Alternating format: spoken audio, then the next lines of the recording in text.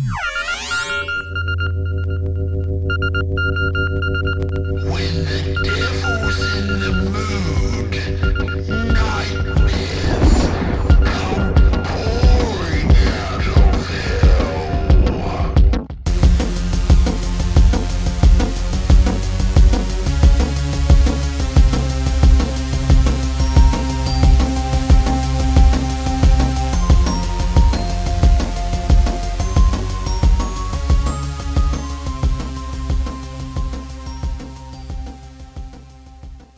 Welcome to the 144th episode of the Supernatural Occurrence Studies Podcast.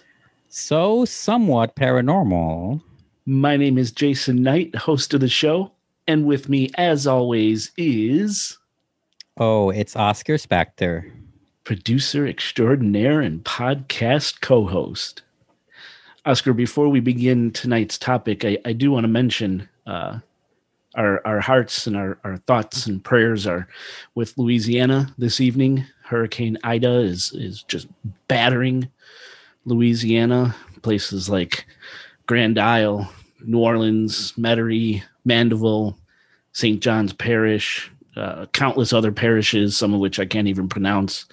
But you know, uh, New Orleans is near and dear to my heart, and uh, this bitch Ida is just ravishing Louisiana. Yeah, it's it's your it's your it's your second home, right? It really is. It really is. I'm a New Orleanian, I guess, at heart. And what's crazy now, it's it's really faux pas to compare hurricanes against one another Mm-hmm. or to one another. But uh, 16 years ago today is when Hurricane Katrina made landfall. Yes, and that was As a a- big deal. Yeah, as a category three, and Ida hit as a category four.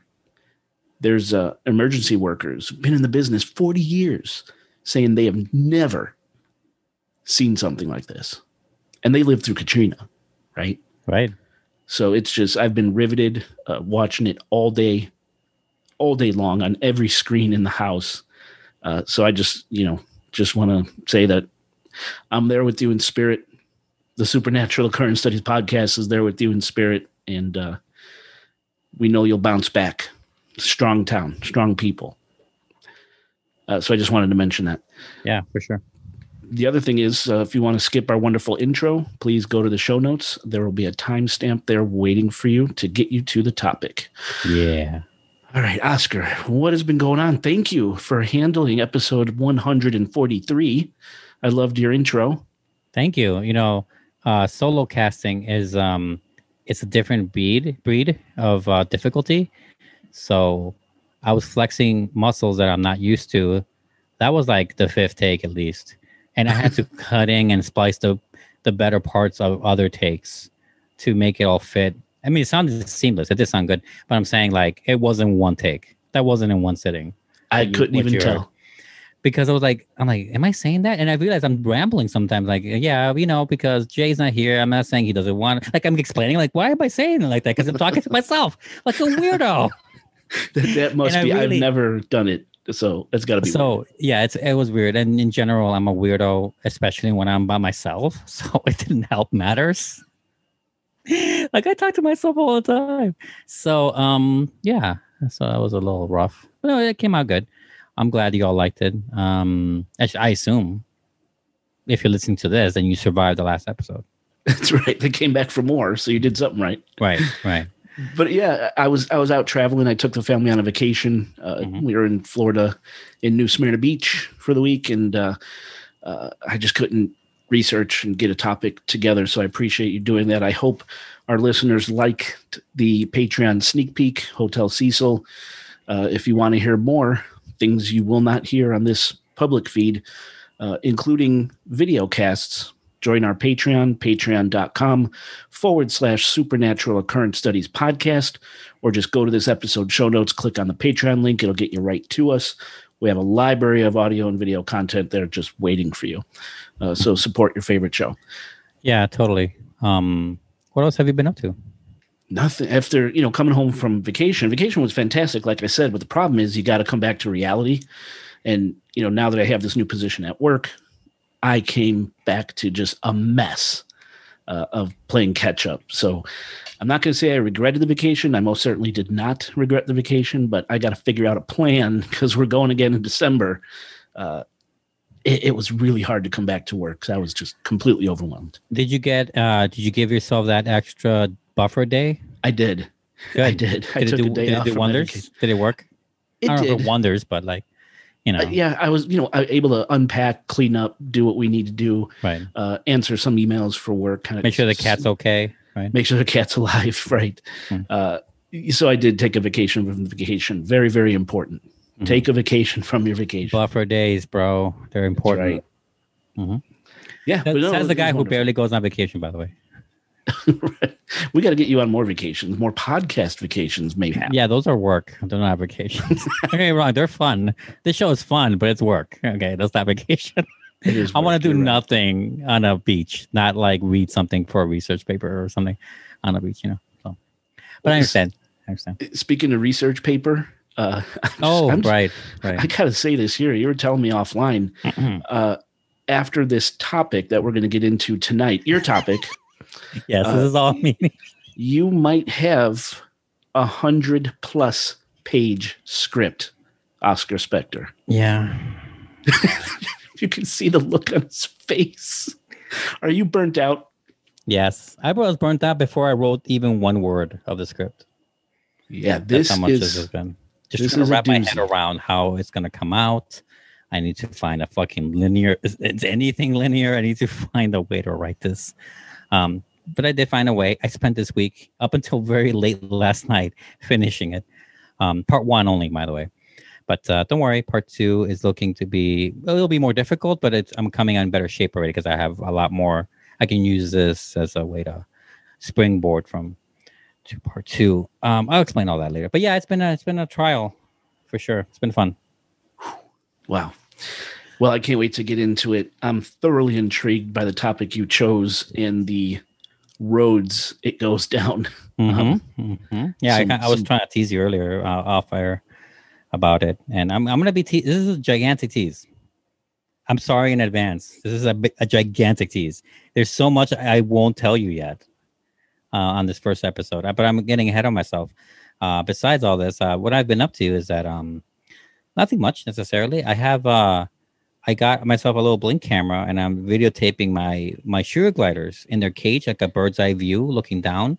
And so, it's the latest model, as far as I can tell, of one of them, and um, and so you can talk like, a- like a baby monitor. You can talk through it, you know, even if you're like miles away.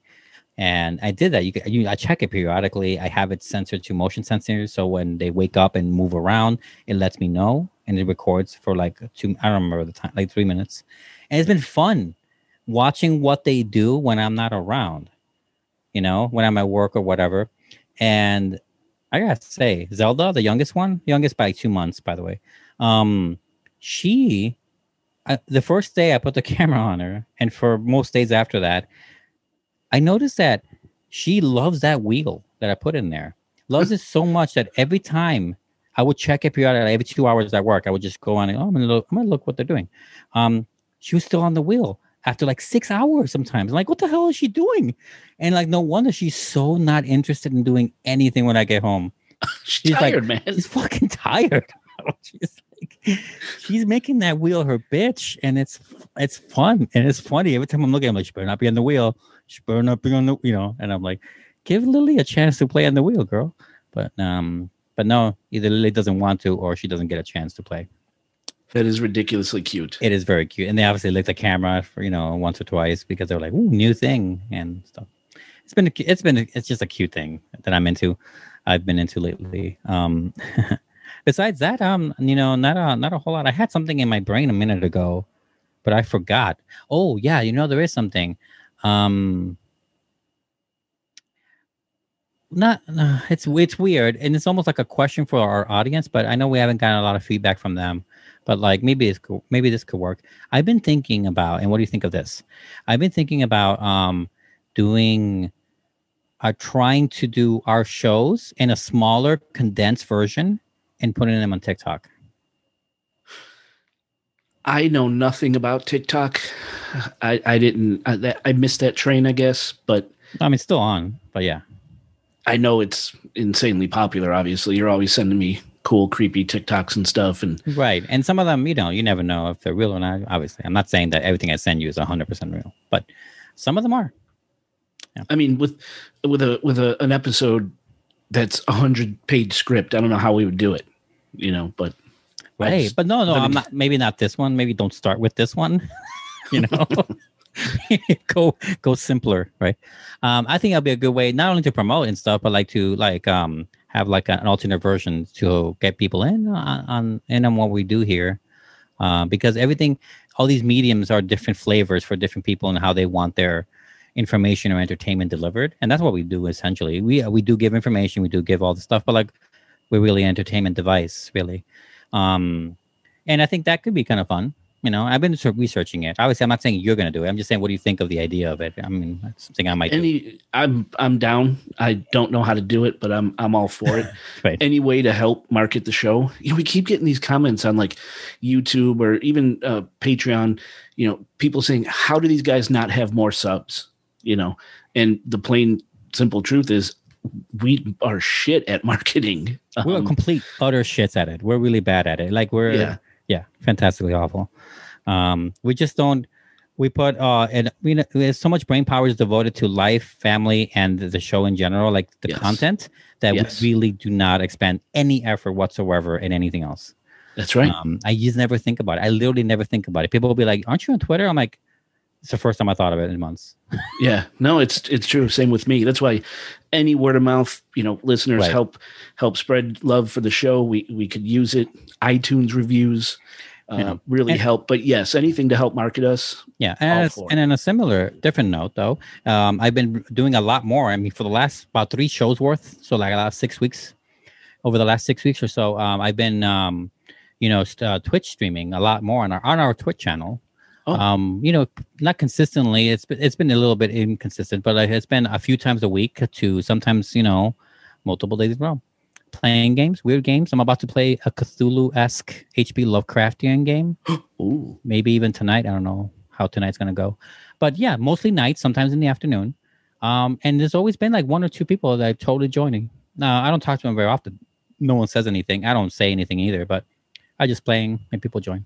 That's kind well, of cool. whoever it is, thank you for joining Yes, us. Yes, whoever you are, thanks for always being there. You, they when they get the notification, they're on it. That's fantastic, man. I think that's great. Yeah, wherever you are, thank you. So that's been that's been also fun of fun. Been doing that. If you want to check us out, what's the Twitch channel? And no, wait, Chicago Chicago's SOS or is it SOS Chicago's? Oh, dude, you totally put me on the spot. I thought you knew. I thought you because you're so good at this that I thought you might have known. I will place it in the show notes. Right, I'm writing it down. mortem. So editing maneuver, Editing magic. editing magic. I just wrote it down. Add Twitch. Cool. Done. Yeah, yeah, It will happen. cool. Anyway, Do what I mean? Terrible at marketing. Yeah. Terrible. Yeah, we're really bad at it. anyway, but we have a Twitch channel. I po- I do games and I try to do creepy games, and I've been successful overall. But every once in a while, I do play like a fun, lighter game. I don't. I can't. Not everything is supernatural, but you know, um, sometimes it is. Anyway, uh, that said, for that, I think you should tell us now that I mentioned a Twitch channel. You should tell us how else people can find us. Yeah, the easiest way, Oscar, for people to get to the Supernatural Occurrence Studies podcast is by going to our website, chicagoghostpodcast.com. From chicagoghostpodcast.com, you can get to all of our social platforms, including Facebook, Twitter, YouTube, Instagram, and of course, Patreon. Again, if you want to support the show, get uh, exclusive content, join our Patreon. You're rusty. See, I am rusty. Oh my god! Yeah. See the Patreon link in this episode show notes. Uh, we have a phone number, Chicago area code 872-529-0767. That's Chicago area code 872-529-0767. Leave us a message, send us a text. We'll probably read them and play them on the show. so sorry. That felt so unnatural. Oh, God, Sorry, gotta I know. I, I could feel you feeling unnatural about it. Um, no, when we said you're rusty, it reminded me of this thing with like, there's this like, uh, I don't know if he's a doctor or a nurse, you know, local person that comes into my store every day, orders in advance, you know, on the phone, right?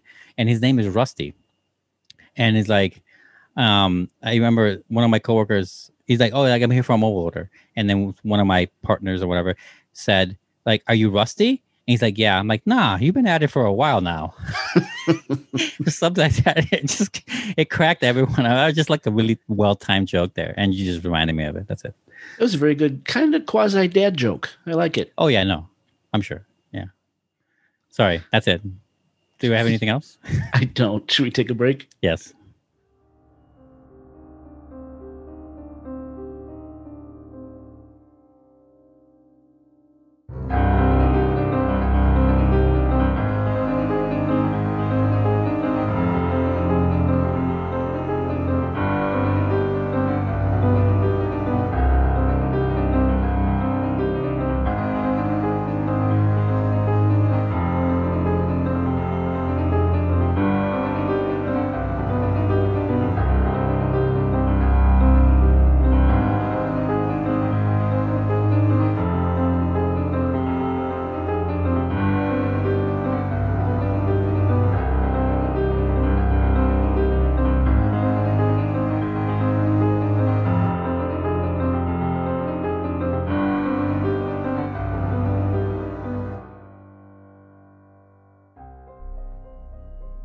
Listeners, welcome back to the show.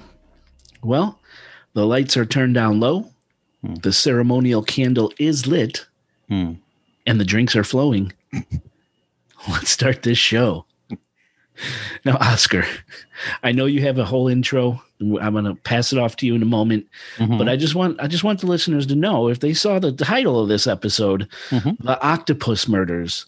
This has nothing to do with an eight-legged mollusk, does it? It's, you know, it does not. Eight legged. No, it does not. Well, you know, they have brains in one of the mo- mollusk tentacles. So I, I did not know they, have two, that. they have two brains and shit. Yeah.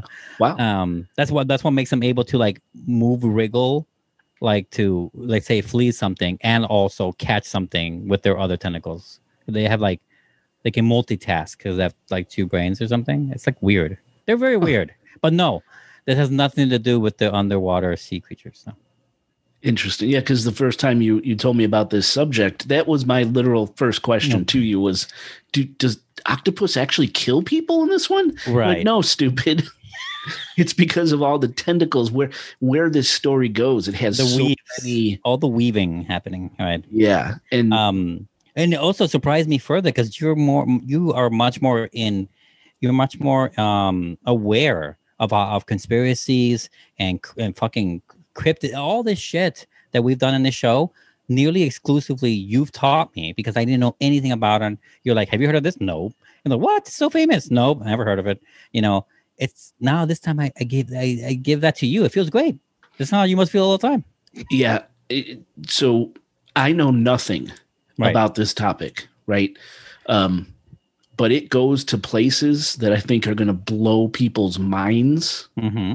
um, I know I've done very, very, very, very high level research just to get names, dates, locations for for tags for keywords. Or Mhm. when I post this, I just I wanted to get started on the episode, you know, get started on the post. Some of the articles that I pulled up that center around this, this murder or these murders, I guess you should say, blew my mind. Yeah. Uh, the the tentacles where they Yeah. go. Right. It's it's just amazing. So I just wanted to say that this is not about an octopus or pornographic. or, or pornographic. Right. Yeah. No, not at all. It's not that either. Uh, so with that, Oscar, uh, please take it away. I've been dying to hear this. All right, sounds good. Let's go into my over dramatized introduction here. we probably should stop laughing. Okay. Where does the unraveling begin when there are multiple entries and loose strands, and the fear of pulling on the wrong one will result in the loss of valuable time, effort, and will? That is the ball of mess and information I found myself in. I believe the disorganized nature of the embezzlement, the forgery, lying, stealing, appointing, arresting, threatening, and murdering that happens in this long tail actually makes it all seem more realistic, more human. Unfortunately, this feat of unraveling nearly shriveled my interest in pursuing this case to nothing because of how big and messy it was getting.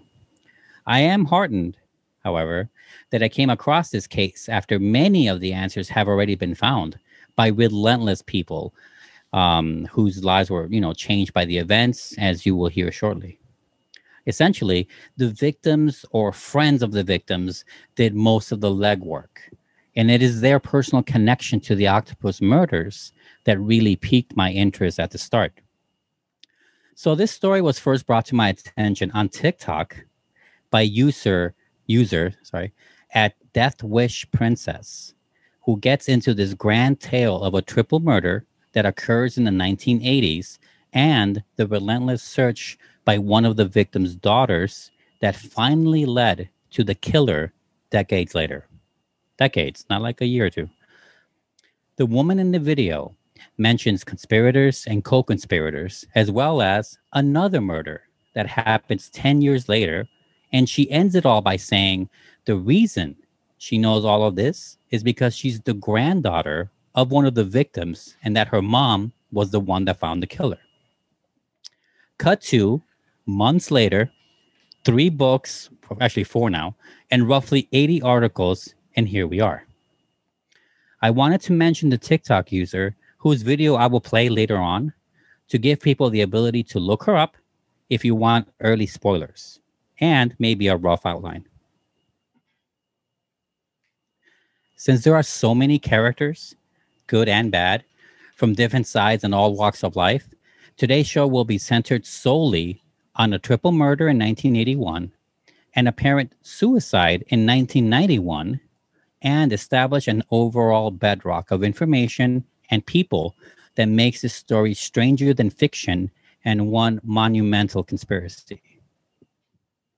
A conspiracy that touches on all sorts of interesting keywords, such as government involvement, presidential involvement, the CIA, the mob, Native Americans, weapons manufacturing and selling, privacy hindering computer software, hitmen, journalists, the Iran Contra scandal, international dignitaries, political assassinations, and even aliens.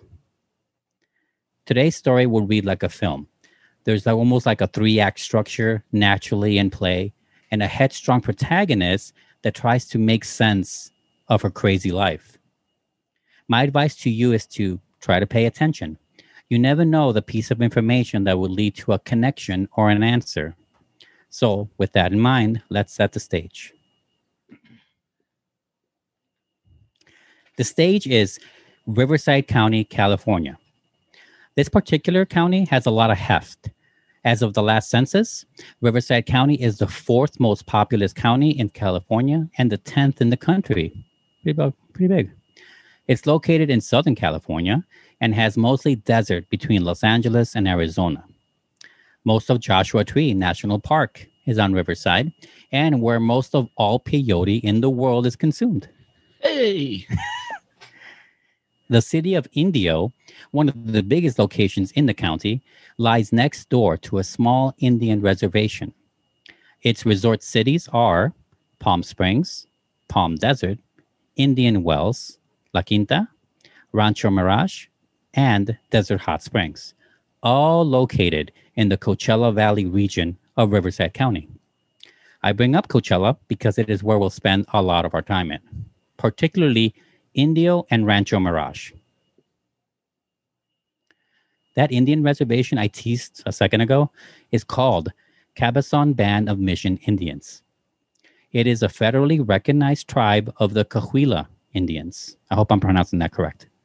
Whose, ter- uh, whose original territory held 2,400 square miles of land in Southern California.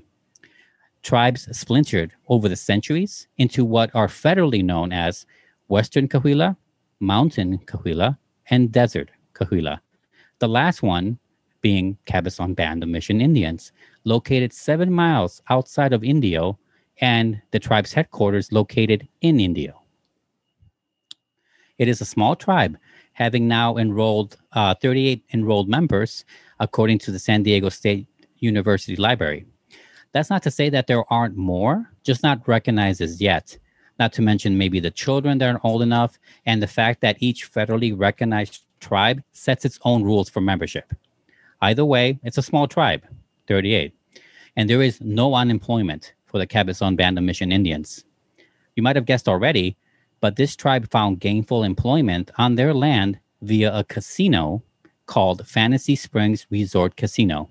Have you heard of it? I have not. No. Okay. Apparently, it was a big deal when it was built.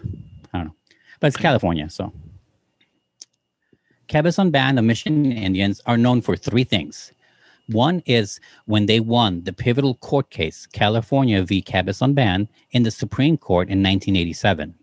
They argue that their high stakes bingo parlors and poker rooms were lawful because California state law couldn't touch it. This led to the second thing they're known for, their actual casino, which spent $200 million in 2004 to refurbish. This is after having had several expansions for millions more. The last thing Cabazon Band of Mission Indians are known for is what the public claimed they were involved in with a man named John Phillip Nichols, something called the Wackenhut Corporation, and finally, a triple homicide that occurred in 1981. Let's get into that. The following information comes from a myriad of sources, like local newspapers, retrospective magazine issues, and a good chunk from a book titled Return of the Buffalo The Story Behind America's Indian Gaming Explosion. Prior to midnight on June 30th, 1981, three people were murdered in cold blood Alfred M. Alvarez, Ralph Arthur Boger, and Patricia Roberta Castro. An investigator from the Riverside County Coroner's Office, Robert Drake, filed a report on the, on the murder. Quote, I was contacted by telephone at 7:34 a.m. on July 1st, 1981, by the Riverside County Sheriff's Office in Indio. I was told of a triple murder, uh, triple homicide at 35040 Bob Hope Drive in the rural area of Rancho Mirage. The scene of this homicide is the backyard patio of the residence of Alvarez on that Bob Hope Drive. The three victims had been sitting in a semicircle. Castro had been sitting on, the, on a single bed facing south. Alvarez was sitting to her right on a wooden chair, and Boger had been sitting to his right on a wooden chair facing north. They were discovered by friends of Alvarez, William Calloway and Joe R. Benitez, at about 6:40 a.m. on July 1st, 81. When found, Castro was lying back across the bed, head to the north. Alvarez was still sitting, but slumped to the right, while Boger was lying face down in the sand where he had fallen forward from his chair. All three were dressed, and from the initial distant examination, it appeared that all three had been shot in the head and had been dead for several hours. Unquote. Alvarez, Castro, and Boger were each killed by one bullet to the back of the head. Examination of the bodies and the crime scene said that the killer slash killers were up close to their victims when they pulled the trigger. They were killed by 38 caliber bullets. And the reason I said killers, like plural, is because of how the victims were positioned when they died. It was theorized that it was theorized by police that since the shootings could not have occurred from afar, that it was most likely that the victims knew the killers beforehand. This is because there are no signs of force or running away from surprise attackers. And the fact that the victims were facing each other proves the theory that no number of attackers could sneak up behind Castro, Boger, and Alvarez without one of them seeing it first. They were each looking at each other. Right. They died in their last living positions, unaware of the 38 caliber bullets heading their way. The main reason police believe that it was more than one shooter, though, is because one or two of the victims were not alerted when the first shot rang out. Say if they were maybe asleep or drunk, you know.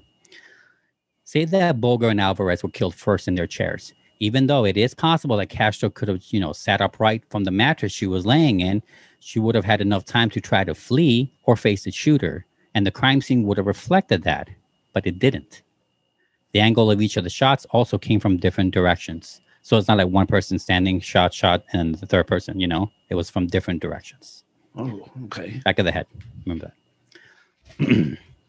I should note that the reason the trio were chilling in the backyard was to escape the heat from inside, since there was no air conditioning.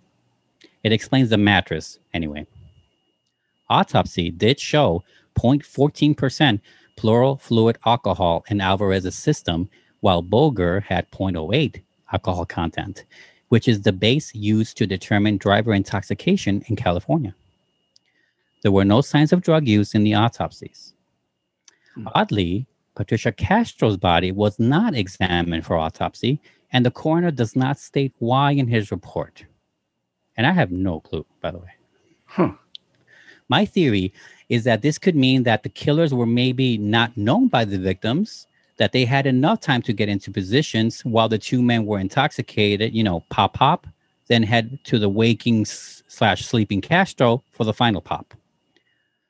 I believe it's a stretch to think that one killer did the shooting, no matter how drunk, but it can mean that they weren't friends of Alvarez and company.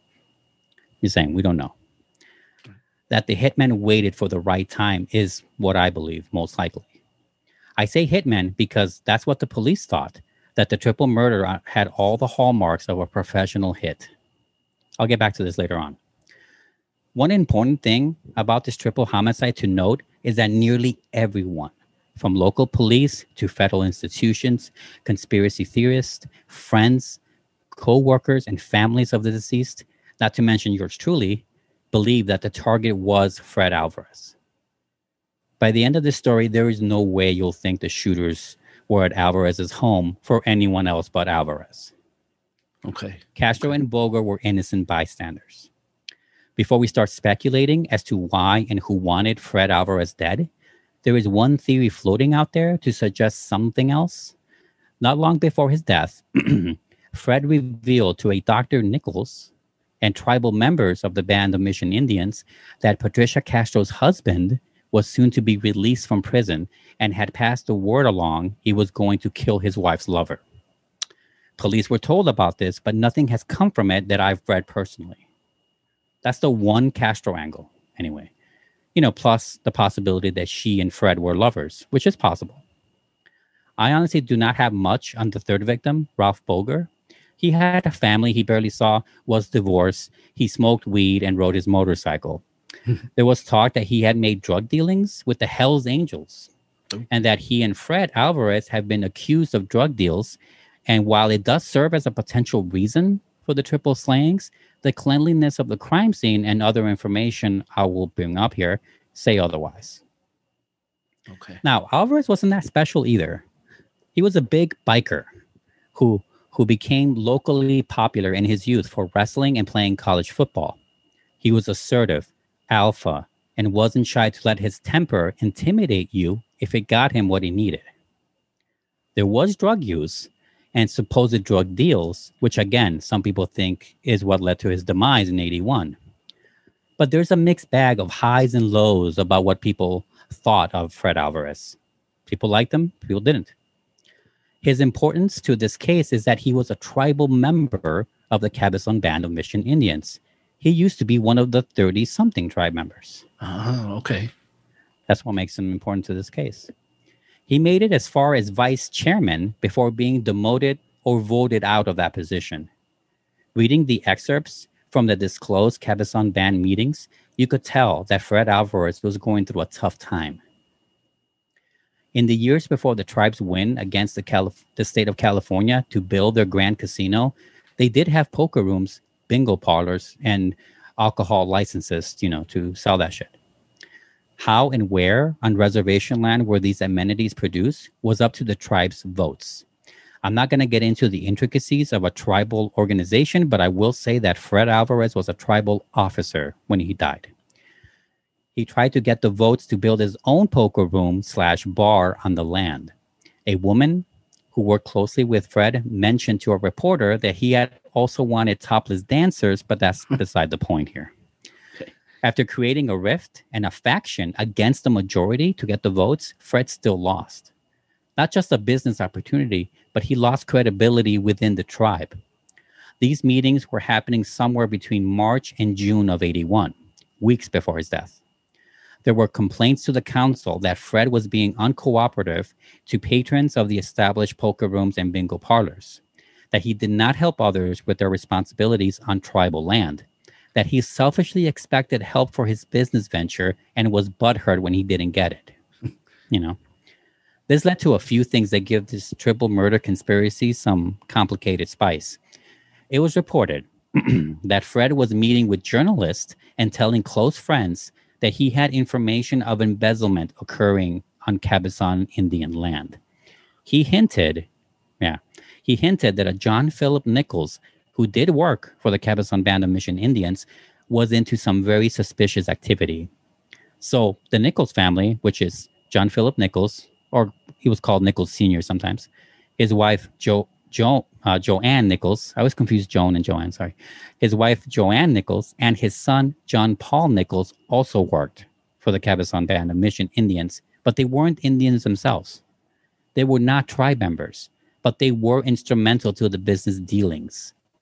It's safe to say that the reason Cabazon Band were able to get liquor licenses, cigarette licenses, and able to make important casino connections is in large part large part due to the Nichols. I have a useful two pronged example that shows how productive and resourceful this little family was, especially in the 70s and 80s.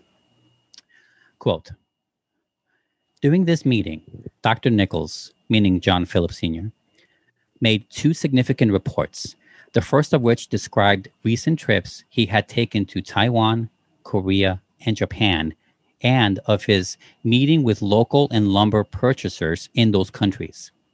His trips there were financed by Wallace Shipping Chartering Limited, a company trying to market coal to those and other countries, and it was paying a monthly fee to use Dr. Nichols as a, as a consultant. These fees were being used by Nichols and the tribe to meet office expenses and stay alive as an economic development entity. Nichols' second report, according to the minutes, discussed the advantages of forming an Indian security company and becoming eligible to apply for contacts with minority preference. He indicated that Wackenhut Incorporated and Intersect Incorporated were both well known security firms which have been interested in working with an Indian firm. After his presentation, Fred Alvarez moved to draft a resolution calling for the formation of Cabazon Security Company. The motion was seconded by John James and passed unanimously. Unquote. These guys knew how to get shit done. So John John Senior, he's a he's a mover and a shaker. He's kind of the spacone. He's the one that makes things connect and happen. And that's uh, exactly right. Does he make? So, a, does he have a? Is there like a type of a person in your head based on that? Oh, oh sure. I mean, I I know plenty of people who. I know very few who, who are like that or, or who, who want to pretend they're like that anyway. You right. Know? Oh yeah, there's uh, that too. Yeah. But now my question is, did these murders happen on tribal land? No. They did not. Okay. The house on okay. Rancho Mirage is uh, like 15 minutes away. Okay. I was wondering because you know tribal land that's a whole nother yeah it's not justice system uh, no. you know, they, that's they why I gave the, that's why I gave the address and uh, I said Ranch Mirage. Yeah, it's not in tribal land. The murders that, that is not tribal land. Okay, yeah. I do, I do, I do make the, I do hammer that later. But yeah, no, it's okay. No, I, I would just Good for question. my own. Good question. Yeah. Um, let's see. The reports lend some nuance into what Cabazon Band was into and what led to their massive success in the 90s and 2000s. Not to mention that it helps explain key information and figures as to the scope of this conspiracy. The reports tell us that while Dr. Nichols was employed at the, res- at the reservation as a manager, he actually was more of a resource developer and financial advisor. The reports also say that the reason Cabazon Band's involvement with Wackenhut and other companies was mainly financial reasons, were mainly financial reasons. Wackenhut will be dealt with in great detail at some point. Part two. Do not worry. All of these reports say that John Philip Nichols, whom Fred Alvarez allegedly told outsiders and insiders was into some heavy shit and very possibly illegal. There is no evidence of this, but people say that Fred Alvarez disapproved of Dr. Nichols' leadership and high status as a non member of an Indian reservation, which may help explain why he wanted his own poker room and dismissed the rest. It was also reported, though not in evidence again, that Alvarez knew that John Philip Nichols was embezzling casino funds and had set up a meeting for July 1st, 1981, the day he was found dead, to try to fire him. Mm-hmm. Reading the minutes from his final few meetings with the tribe, I have to say that there's no evidence to support this. It should also be mentioned that it was tribal policy to count the earnings made in those bingo parlors and poker rooms daily to thwart any skimming. Adding fuel to the fire, people have also said that Alvarez knew or suspected that Nichols involved the Cabazon tribe into arms dealings with the government. And I will get to that eventually. Yeah. These are the threads that conspiracy theories from 1980 to present day believe led to the triple homicide. Interesting. Mm-hmm. So, arms dealing, Mm-hmm.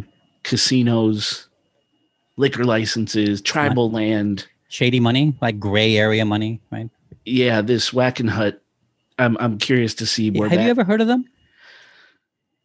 only I think I I read it briefly when kind of looking for the keywords Oh, for. This. I mean, uh, before today. I have not. No. Interesting. But I'm- 'cause I I'm have heard of them before. Oh, have you really? Mhm. I wonder if it started out as kind of like a shell dummy company to run money through or something to clean money. I'm not sure. Oh, I can tell you right now, not not in a spoiler way, but uh, they're very real. They work all around the world. so they're they're up and up. Gotcha. Okay. I mean, they, but they're just so big. They're huge. Yeah. We'll get more. Yeah. th- that's a an entire segment for part two. Trust me. Okay. now, the tribe made a press release concerning this tragedy. Quote The Cabazon Band of Mission Indians express its sorrow over the death of Fred Alfred Alvarez, a member of the band. His untimely death, along with those of Patricia Castro and Ralph Boger, are most unfortunate. We publicly, ex- publicly express our condolences to the immediate family and friends of the three victims. Since the deaths did not occur on federal land, the state of California, County of Riverside, County of Riverside has jurisdiction. Mr. Blaine Clark, the capable sheriff of Riverside County, has our full confidence in being able to solve these deaths. We as a tribe will help and cooperate in any way we can with the sheriff's office. The Cabazon Band of Mission Indians respects the American judicial system and knows that justice will prevail. We wish to state categorically that the unfortunate incident, which involved the three victims, only one of whom was a tribal member, was wholly unrelated to Cabazon tribal business or the operation of our tribal casino. We are in possession of certain evidence which we have already turned over to the county sheriff's office, which indicated that the murders may have been attributed to personal relationships between the victims and other persons unconnected in any way with the Cabazon band. We are confident that when the case is solved, as it will be, and all the facts are disclosed, their charges and innuendos will be shown to be groundless. Until that time, we would only ask that the press deal with this tragedy in a responsible and professional manner and not allow itself to be used by those with ulterior motives. Unquote. That is one hell of a statement. Actually, I cut some parts of it out, by the way. But yeah, yeah, that's a hell of a statement. Wow. Yeah. So I'm taking because they mentioned right there, you know, these charges are unfounded. Basically, Mm-hmm. uh, I'm, I'm guessing there were already rumors swirling that insane amount, had- an insane amount of them. yeah had something to do with whacking this guy. Okay, okay, and their plea, their plea to tell their their plea to the press to to like, hey, you know, be you know, be nice. Totally does not work. You're about to find it really doesn't work. The fact that we're here talking about it, it means that it didn't work. Oh, um, okay, okay, right? good. Like the very fact that there's so many books about it that I'm fucking burnt out over.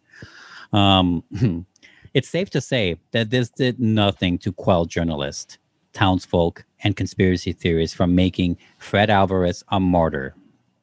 The tribe was harassed daily with questions of their involvement with the triple murder. As frustrated as they were with journalists who were, you know, indeed damaging the Cabazon band image, the real fight was with the police. They raided this federally recognized Indian land a couple times, taking lots of documents and questioning everybody that might lead to an arrest. This is not strange behavior for the tribe, though. For some time before Alvarez met his demise, county and local police had some hate for this tribal territory. They opposed and fought the selling of cigarettes, alcohol, and bringing gambling to their corner of the world. Lots of court dates and threats, guys. It makes sense why the tribe quickly made that press release and fully cooperated with statements and paperwork only a day or two after the triple murders. It didn't help much, and since Cabazon Band of Mission Indians got the last laugh with their big court win, you know, in the mid 80s, the harassment and traumatic image in the public subsided over the years, for the most part. Let's bring a woman in here, a woman named Rachel Begley on board. Rachel Begley was 13 years old when her father, Ralph Boger, was killed in Rancho Mirage, California. Much of the following comes from a Wired article in 2011. Quote She learned of her father's death from a television news bulletin. Her parents were divorced, and though she spent occasional days with her dad, riding in his, in his motorcycle sidecar, she didn't know enough about his life to make sense of what had happened. The police would eventually conclude that Boger and Alvarez were killed in connection with shady doings at the nearby Cabazon Indian Reservation. Hmm. But Begley's mother shielded her from all the murky details of the investigation. After the murders, Begley went through a rebellious phase and fell in with a bad crowd. By the time she was 15, she was pregnant and had dropped out of high school. Eventually, she got her GED and moved to Iowa. She says she would periodically wonder about the case and check in with the police, who never seemed to have any new information. Beyond that, she didn't have time or tools to delve too deeply. Then one night in 2007, she idly typed her father's name into Google. She didn't find much, but as she clicked through the few results that came up, she found a book titled The Octopus Secret Government and the Death of Danny Casolaro.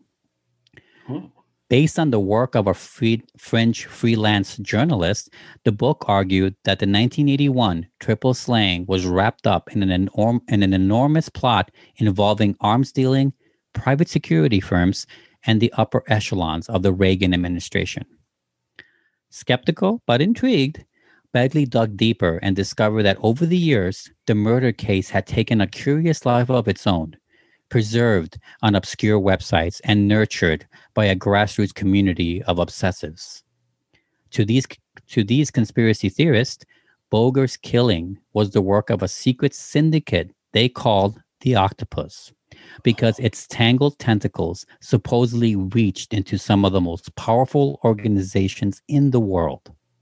Unquote.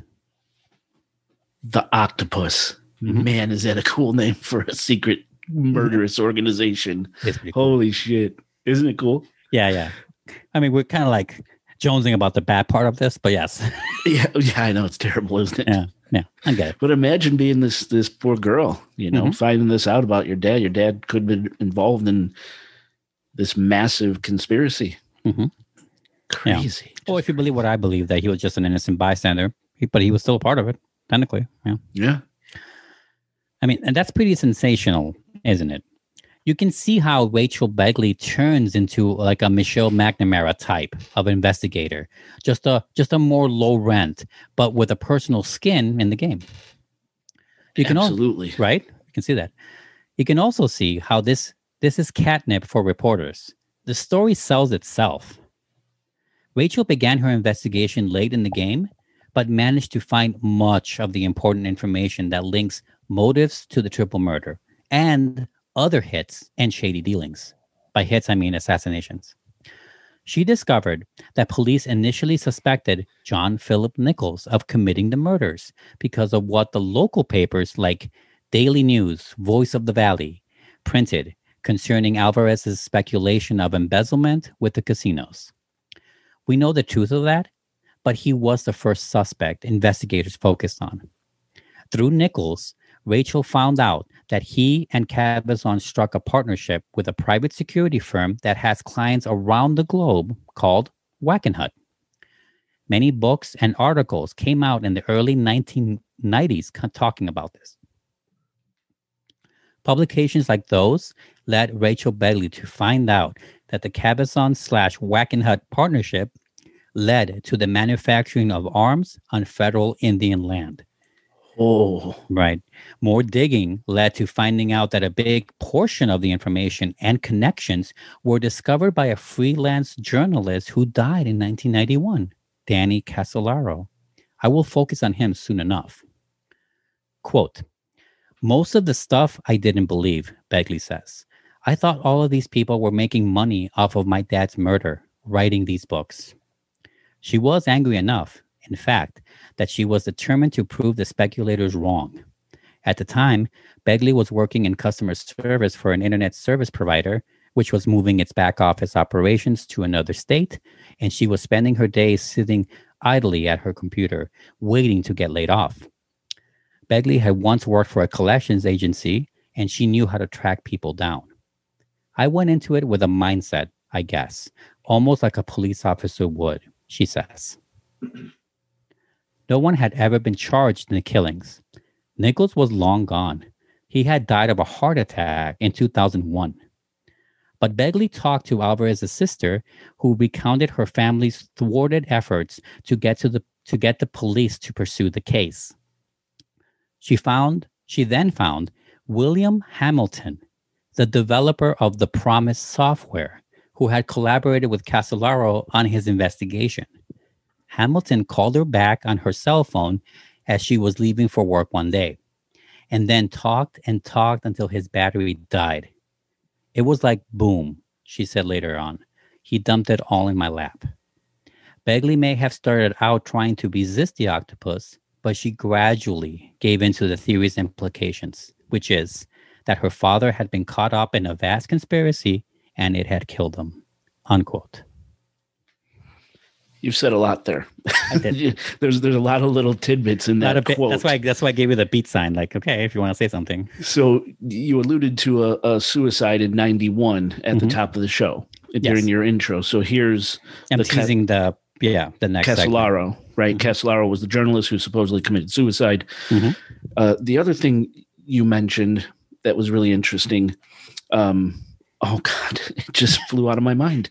Is it the Hamilton? Uh, Yes, yes, the PROMIS software. Thank mm-hmm. you. Mm-hmm. The PROMIS software. Yeah. Uh, P R M I S, I believe. P R. I think it's the whole. Isn't it the whole thing? P R O M I S. I don't think it is. E.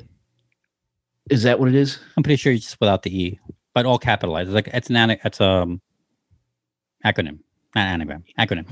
P R M I S. I thought it was P R M. I, I saw that today during oh, my maybe, high maybe level research. Maybe, but I've been reading it that way. Maybe I got it all wrong in my head. Okay. Let's just say. I just wanted to bring it up in case people wanted to follow that rabbit hole on their own. I'm promise. That, do that, yeah, that's research. another thing that I'm kind of encouraging slash discouraging along with the show is that if you want to find out in due time, by all means, wait along with the script with me. And next time, and maybe next time after that, and then so you can get the pieces together as I write it and as I tell it to you.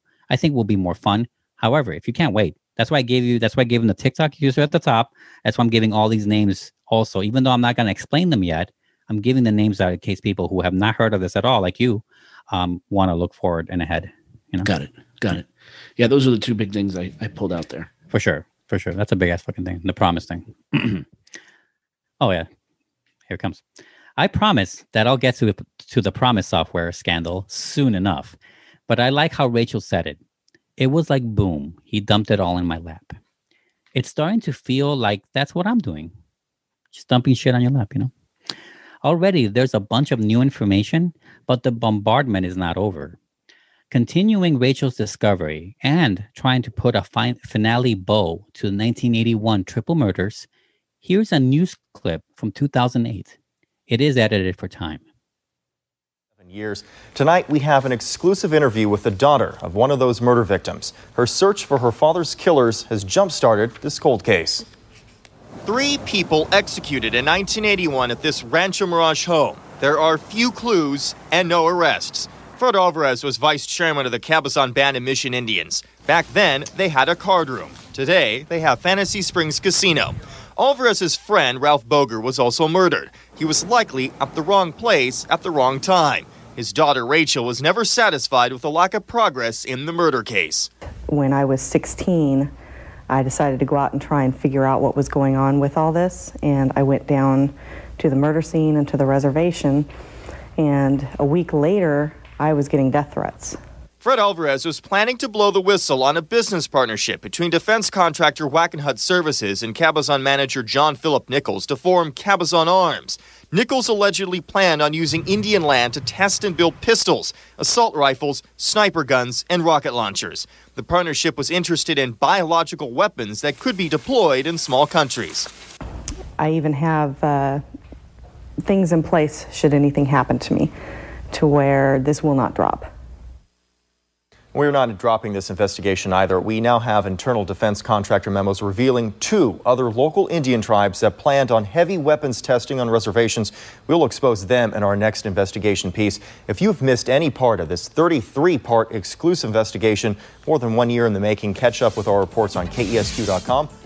If you didn't catch it, that clip is the 33rd part of a long series that investigated the triple murders and other deaths and connections. It's from WESQ.com if you want to see what they found. To say that they have a video version of this podcast is only half correct.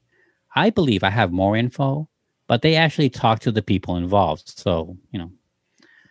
The news clip doesn't mention that one of the weapons that were being manufactured on tribal land was fuel air explosives, which will be key to remember later.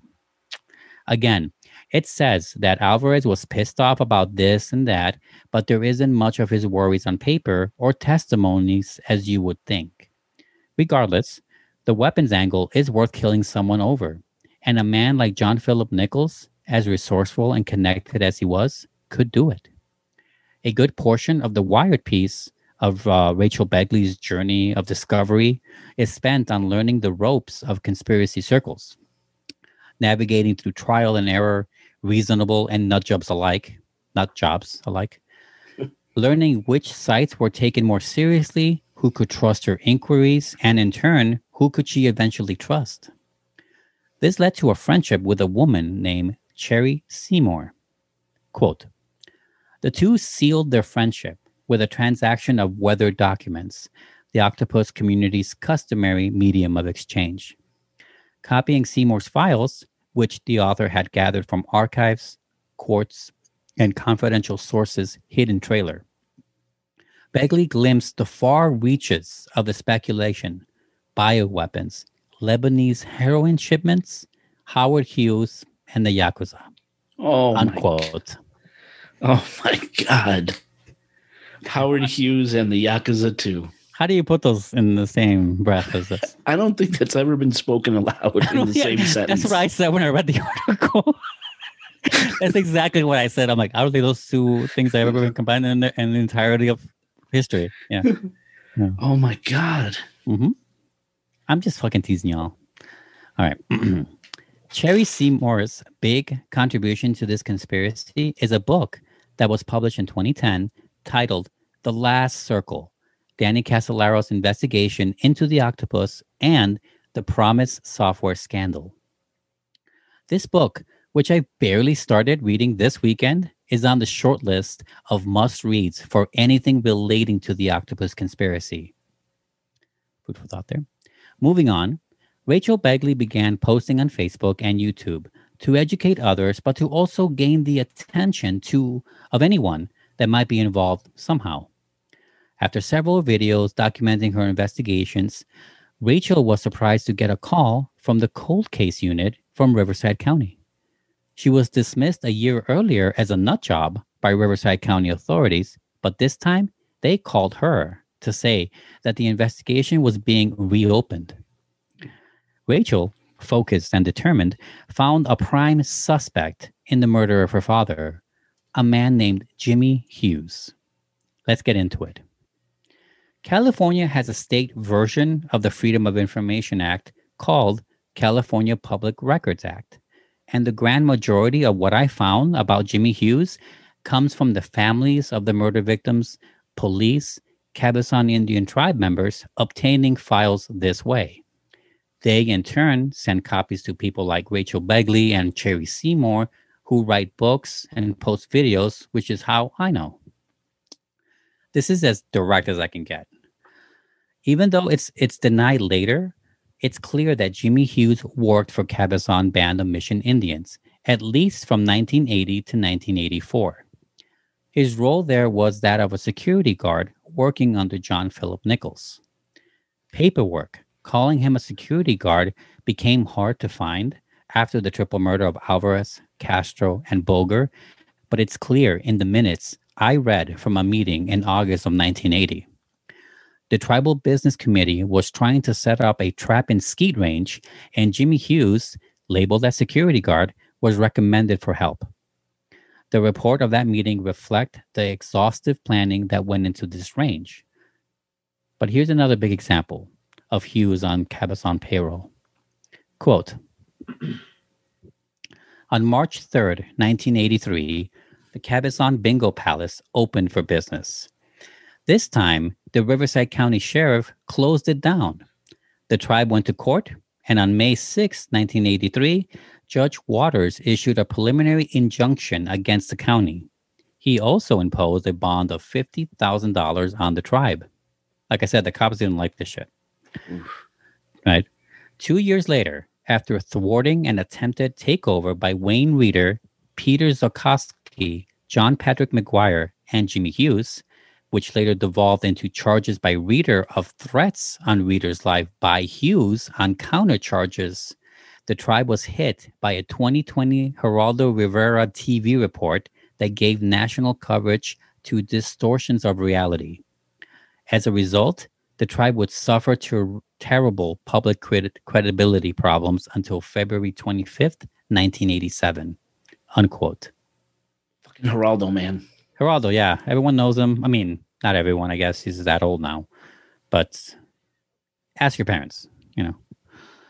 But yeah, the credibility problems until February 25th, 1987 is timely because that's when they win the court against uh, the Supreme Court case with against California to make their casino. So ah, I see. Okay, makes sense. I'm surprised the police were able to go on to tribal lands and shut that, that uh, yeah, uh, bingo I, hall again, down. I don't know how it works. yeah, really, yeah, me neither. Yeah, so it must have happened. I mean, they clearly did it. So, um, a journalist for the Desert Sun, a man named John Huszar. I'm gonna call him Huszar from the mid 80s to the mid 90s, wrote several articles smearing and convicting many people connected to Cabazon tribe of crazy sounding things, mainly involving arms dealing in South America. What he wrote about Jimmy Hughes is as follows and comes from from the book uh, that, I read, that I mentioned earlier, Return of the Buffalo. And uh, I should say right now, this is the only time I have time to say it. Return of the Buffalo tries to dismiss the conspiracy theories that people talk about with this tribe. It kind of fails at it, but it does clear up some things. So I think it did some good jobs too. Anyway, sorry. Quote Third in Hus- oh, sorry. Third in Huszar's string is the conviction of Dr. Nichols, followed by the fourth, which repeats the drug crazed allegations of one Jimmy Hughes, given the false title of former tribal security chief a title he never held, which is true. Huszar writes that Hughes had filed a statement in 1984 charging there was profit skimming at the Cabazon Bingo Palace and that the Cabazons and the Nicholses family were involved in gun running missions in Central and South America.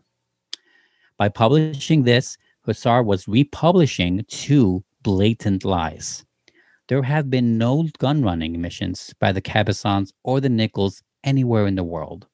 And Hughes was never a Cabazon security chief. In his repetition of these lies, he then added that Hughes claimed to be a bagman for Nichols in the Alvarez murder. At no time has Huszar written the truth about Hughes, the speed freak, although the truth was available and Hughes was never a bagman for Nichols or the Cabazons for any purpose. Unquote. Now that's the bias of the book. Right? That's how the book writes it. But what do you think of that real quick? Because a couple truths, a couple not truths there. One, he wasn't a security chief. He was a he was an officer, security officer for sure. But uh, you're right. He wasn't a security chief. So right there, the journalist is getting something wrong, perpetrating a lie, like he said. The gun running is technically right, only in the sense that you're right. I guess they didn't do it themselves, but if they're made there and sent out by someone else, same problem, different level, you know, that's my thought on that anyway. But interesting how people are trying to dismiss this stuff as you as you as you read more. It's fucking weird. Right. Yeah, it's kind of that's what's hard to kind of parse out some of this stuff. It was well known by several people at the time that Jimmy Hughes had a taste for methamphetamine. Hughes was fired as a security guard in 1984 and banned from the reservation. On his way out, according to what was reported by the sheriff, quote, he, meaning Hughes, became argumentative and belligerent and invited me to step outside. I stepped outside with him, but he made no effort to strike me. We were joined by Charles Wilmus, security guard, uh, Treasure Wilmus, Virginia Wilmus, Carol Teagarden, all employees of the Bingo Palace. By the way, they sound like stripper names. I'm sorry. Uh, Tea Garden, come on, what is that? And Dr. John Nichols. Dr. Nichols tried to reason with him, but to no avail. Jimmy Hughes directed his angle toward Dr. Nichols, told him his days were numbered. A minute or two later, just before entering his car, he told Dr. Nichols, quote, you better leave the state, unquote. On his way out of the parking lot, three or four shots were fired. I can only assume they were fired by Jimmy Hughes, unquote, for real. Hmm. Interesting. Okay. So he's kind of an asshole. Yeah, clearly, clearly. Actually, that's what I wrote here. Clearly an asshole right after that. You're pointing to the screen. It's fine. right, like you can see me. so we got meth head Jimmy. We don't know. We don't know how he's connected yet. Truly. Uh, I mean, he's connected to Cabazon. That's established. That's what I'm establishing here. And that he knew Nichols threatened him and all that. Got fired from working there, banned from the reservation. But connected to the the triple murder Murders? though. Well, he just said it, right? He said it in a heated thing that, um, well, people were saying that he was a bagman for the Alvarez hit. We don't know if he had said that yet, but, you know, he is pissed at Nichols for something or other. I will get to that. Don't worry. All this will be explained. But yes, he is. You're going to find out he's something connected for sure. Ah. Heading back to Rachel Begley in 2007, she became interested in Jimmy Hughes because of articles written in the 80s and 90s, like Huszar's pieces. A note to remember is that back in 84, Hughes implicated Nichols Sr. to police that he was using cash payments to unidentified contract killers for the Alvarez hit, which he called U.S. government covert action. He called it that. We don't know if it's true. After a while, police shifted suspicions to Hughes, at which point fled town and the grand jury investigation stopped. They just let him go. Well, he fled town before they could, you know, properly get him for it. But yeah, he told the police, "Hey, this guy might have killed Alvarez," and like, "Well, how do you know that?" So they turned their heads to him, and he fled. Hmm. Basically, uh, they call him an informant in the report that I read. Okay. Um, let's see, where am I? Right. Here's what Begley found out and later reported by places like KESQ, Fox News, and Wired, and so forth. Begley discovered that Hughes became an evangelical minister stationed in Honduras, but with programs all over, including the States. Honduras. Sorry, I didn't say it the right way. This ministry began in sorry. this ministry began in 1995 and it provided services in Central America to battered women, drug addicts, and others. The website doesn't exist anymore, but it did have an autobiographical essay that was written by Hughes. It talks about how he had an elite military training, which companies like the Wackenhut security firm was known for doing, and had a career as a contract killer. That his life was transformed when he was born again. It was called Jimmy Hughes Ministries, and its headquarters was in Miami, Florida. Jimmy Hughes kind of reminds me of David Berkowitz at the end there. Remember? Oh, the yeah, the big transformation. Finding religion. Right. Yeah. hmm Wow, what a convenient way to also have uh, locations to send guns to. Yeah. Man, I want to go. Well, the gun running to Central America, maybe you know, establish some places, some people, right? I don't know. Interesting, man. Mm-hmm. Begley found out that Hughes was scheduled to address an evangelical banquet in Fresno, California. On February, on February 2008, Rachel Begley had a hidden camera in her purse as she confronted Jimmy Hughes. Whoa. Quote Hughes, a stocky 51 year old with a graying buzz cut and raspy voice, bounded around, bellowing tales of his past brutality. Begley, nervous and bleary eyed from a sleepless cross country flight, exchanged incredulous text messages with an accomplice who had come along as backup, Mikel Alvarez, Fred's son. Huh. Yeah, they banded, totally met together about this. When Hughes finished his performance, Begley and Alvarez came forward with a rush of adrenaline, introducing themselves to the sweat-soaked evangelist, evangelist as the children of the murder victims. Can't say nothing about that, Hughes stammered. It's a long time ago. It's in the past. Not for us, Begley said insistently. We're trying to get resolution. I don't care who got killed, Hughes shouted, attracting the bewildered attention of others at the banquet. I was trained in the military. I kill people all over the world, right or wrong, because the government ordered me to. Hughes stalked off, fuming, and Begley began to cry. That seemed to bother the minister because he came back, speaking in a tone that was softer but full of veiled menace. Apparently, he had seen her web videos. Are you aware that that goes all over the world? Are you crazy, lady? Hughes said. Think about your children. They need a mother. He told Begley and Alvarez that the murder was a mafia hit, and though he didn't explicitly admit to carrying it out, he intimated that he knew much more. Your parents were involved in some very dangerous things, Hughes said. It's a lot bigger than just the murder of this guy or the murder of that guy. You're talking political people. You've got babies to take care of, Mama.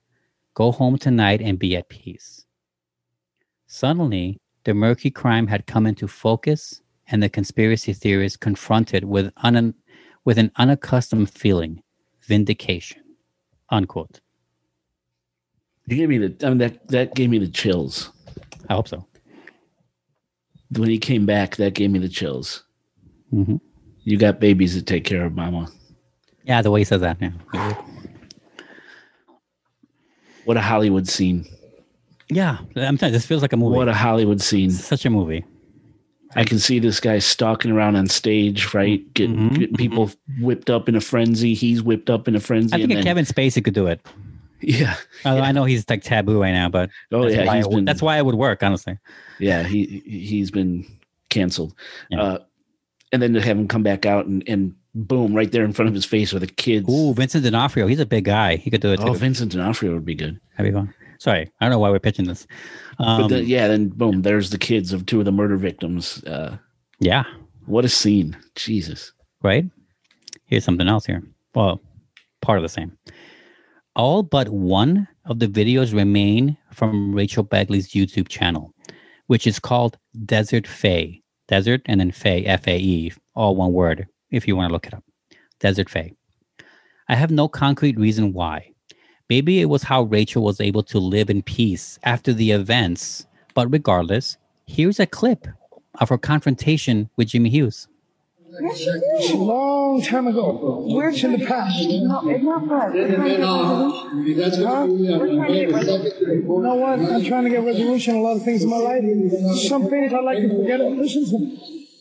I want to forget about the past that is ever so awful and scary in my past. I don't live there anymore. I don't got nothing to do with that. Screw the FBI. Screw the police. Screw everybody else in my past. I don't care about my past. I, there's uh, the world I live in is screwed up and messed up. There's a lot of hurt. There's a lot of you know what? What you need to do is let God come into your heart, and what you need to do is say, Lord, pray my Father's in heaven. Lord, I pray when I die, I go to heaven. Lord, do you have children? Do you have children? Pray for your children. Love your children. Protect your children. Listen, what's your name? What's your name? Wilson's daughter, this is Fred Alvarez. Let me tell you something. Now, folks, you know, the world we live in is full of a lot of things. But what just you're asking me to do, No, I'm asking you to make amends. Make amends for what?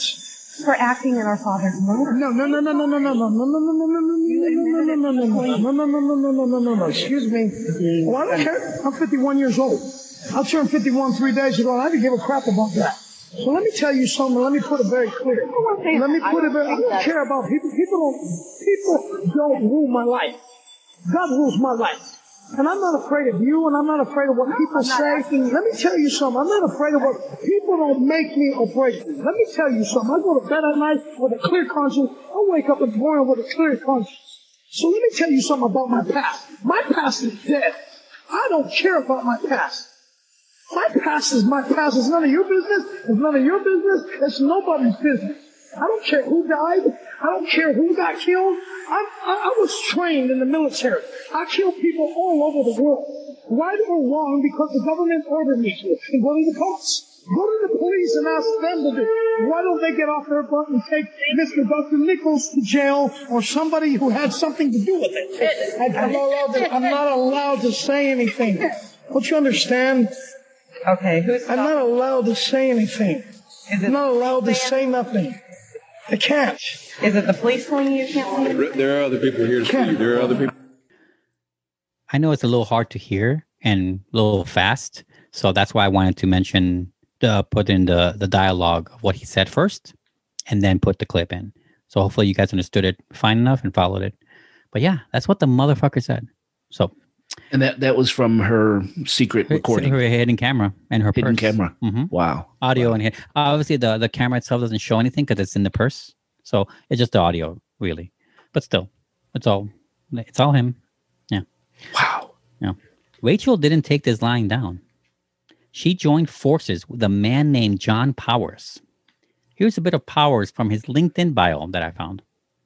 He began his career with law enforcement in 1985 with the Coast Guard, and starting in 1989, he began. He sorry, he began. He spent the next 26 years with the Riverside County Sheriff's Department as a patrolman, narcotics investigator, homicide detective, and finally sergeant.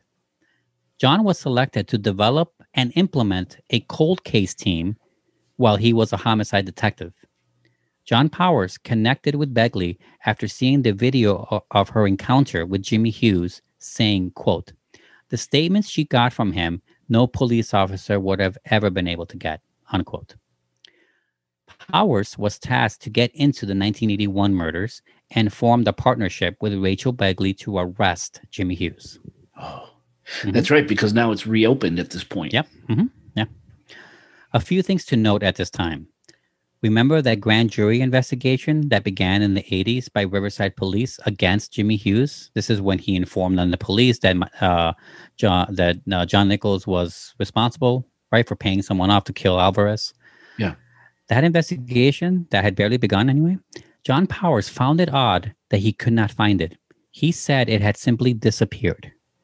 Of course. Mhm, I don't know what that means. He doesn't know either. After what the article called procedural wrangling, a warrant was finally issued for Jimmy Hughes in August 2009. He was arrested at Miami Dade International Airport in October, trying to get to Honduras.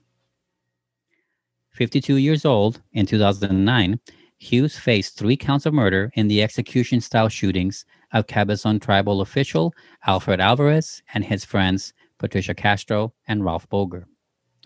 There was also a count of conspiracy to commit a crime. Very important.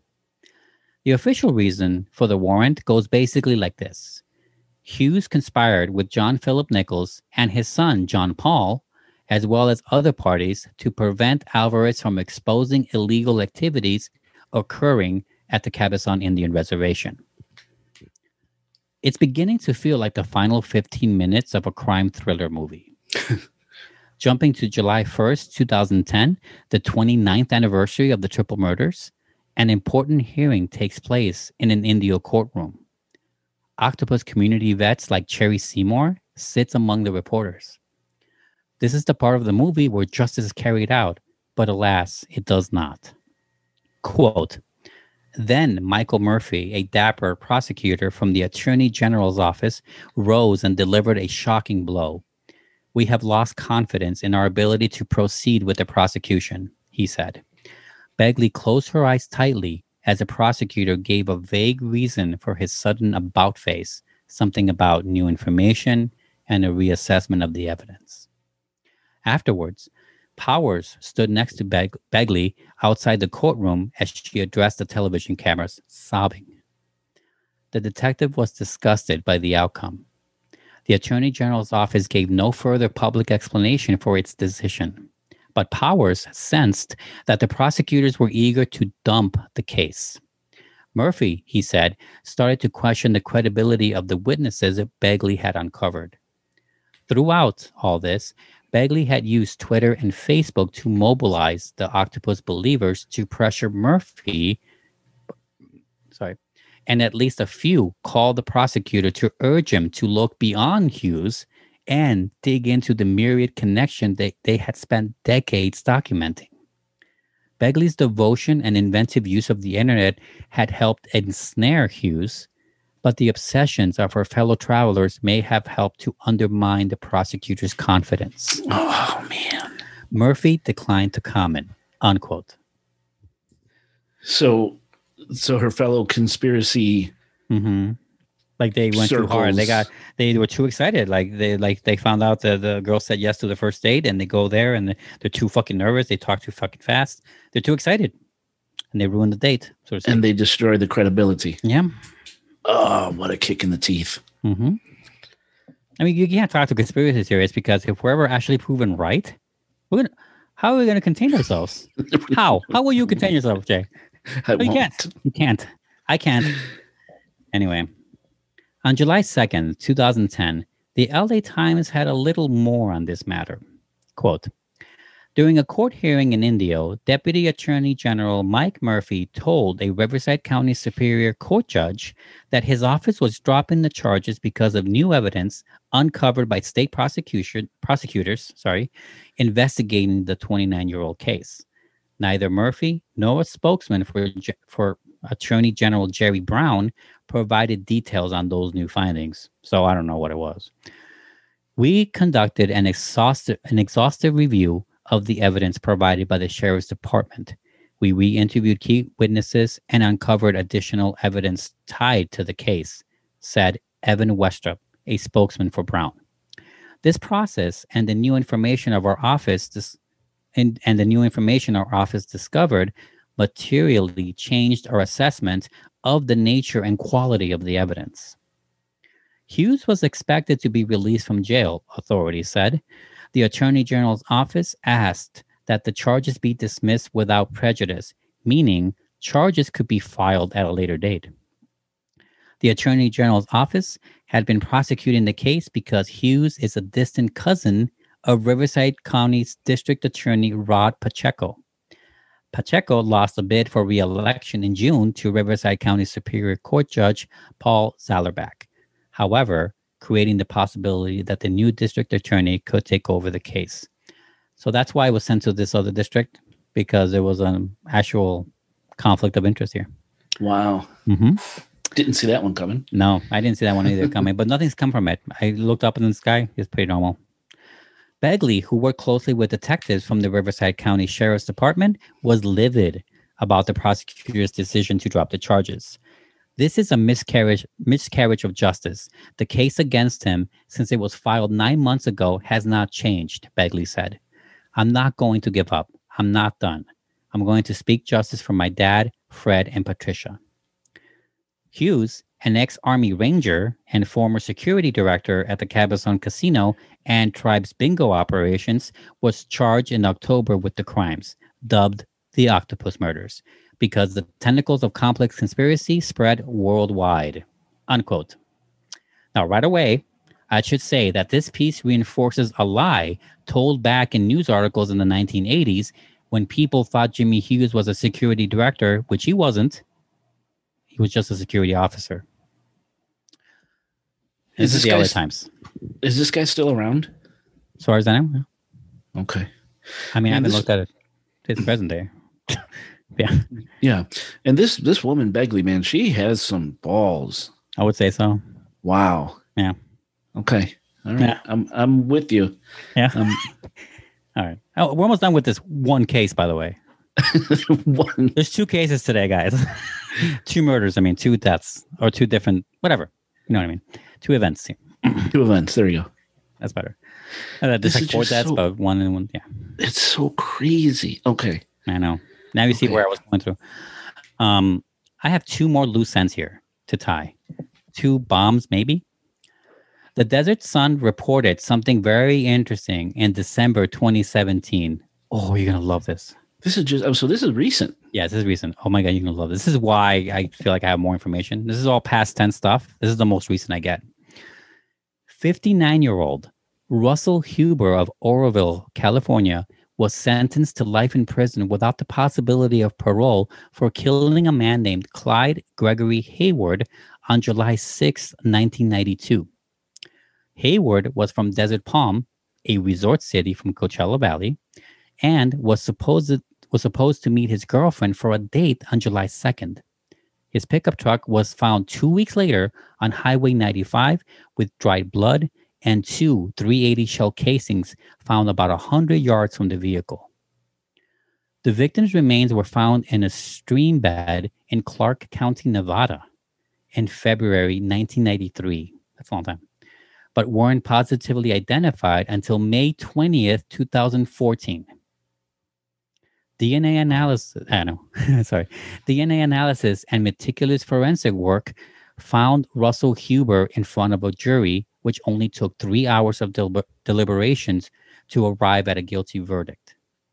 Quote Hayward's girlfriend, whose name was not disclosed, told detectives at the time that she had turned down a marriage proposal from her employer, John Nichols, and believed he was behind her boyfriend's disappearance, but there was no concrete evidence. Oh, The prosecution alleged that after being rejected by the victim's girlfriend, Nichols arranged a fake business meeting with Hayward under the guise of securing golf carts for a development project.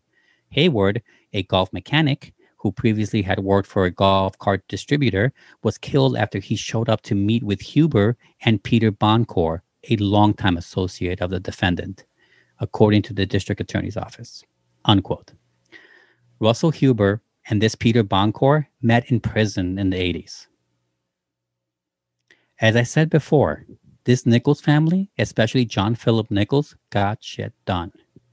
So, so what happened to the Nichols? I mentioned how his wife Joanne worked in the offices of Cabazon Mission Tribe. She was pretty true blue and died working for them of natural causes. John Paul Nichols, the son, is simply retired now. John Phillip Nichols, I also mentioned, died in 2001. I believe it was heart failure. What's interesting is what happened on July of 1985. John Phillip Nichols pleaded no contest to two counts of solicitation to commit murder, receiving a four year sentence. This murder for hire scheme went awry because Nichols met with the two supposed hitmen who turned out to be police informants. Ah. Yeah. The two intended victims were residents of Indio, California. I have no names for the would be victims, by the way. Nichols was 60 at the time, and due to ongoing health issues and the fact that no one was harmed, it lessened the prison time. No motives were mentioned by police when they arrested Nichols for the murder solic- solicitations, but they believed it was drug related. This drug angle might have originated from Nichols itself because he was placed in protective custody in Chino for it and was placed near the infirmary for health reasons. so they were protecting him for something. Or he was protecting himself in advance from prison, from Yeah, the he general could- population. He couldn't something. be right. Exactly. So, what do you think of this? These two things. Meaning, what do you mean? Um, Well, okay, I'm tr- I'm trying to say it without saying it, although I'm going to say it now. This motherfucker had Alvarez killed, right? I mean, we it kind of sounds that way.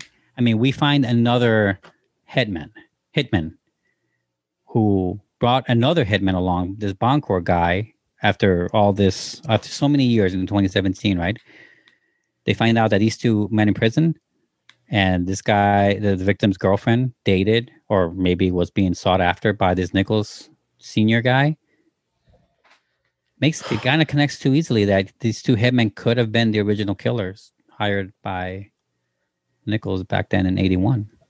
Well, you got to have a, a or relationship there. or just in assume. general, or just in general for other things. You know, if they killed this one guy in the '80s, right? Yeah, he's worked for me before. Let's do it Mhm. again. Or they've 85. worked for me before. Let's do it again. Mhm. Wow. Okay. Interesting. Yep. Not nice people. No. Not nice people. No, no, no, no.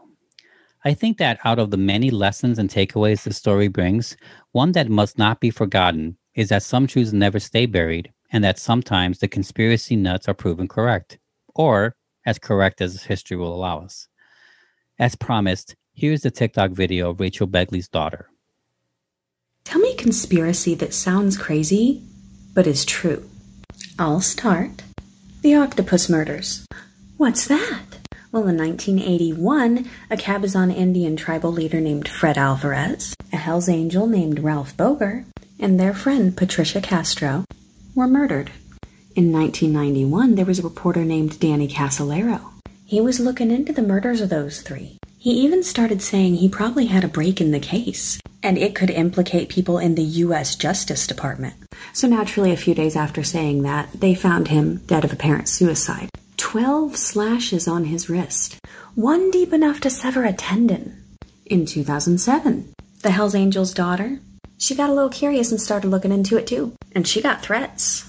But she also got enough evidence to actually bring somebody to trial.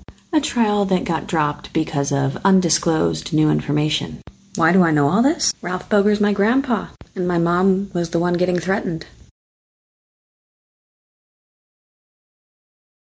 Now, I realize that there's still a lot of information left unexplained on the table, plus the teases of out of left field keywords like the Reagan administration and the fucking Yakuza.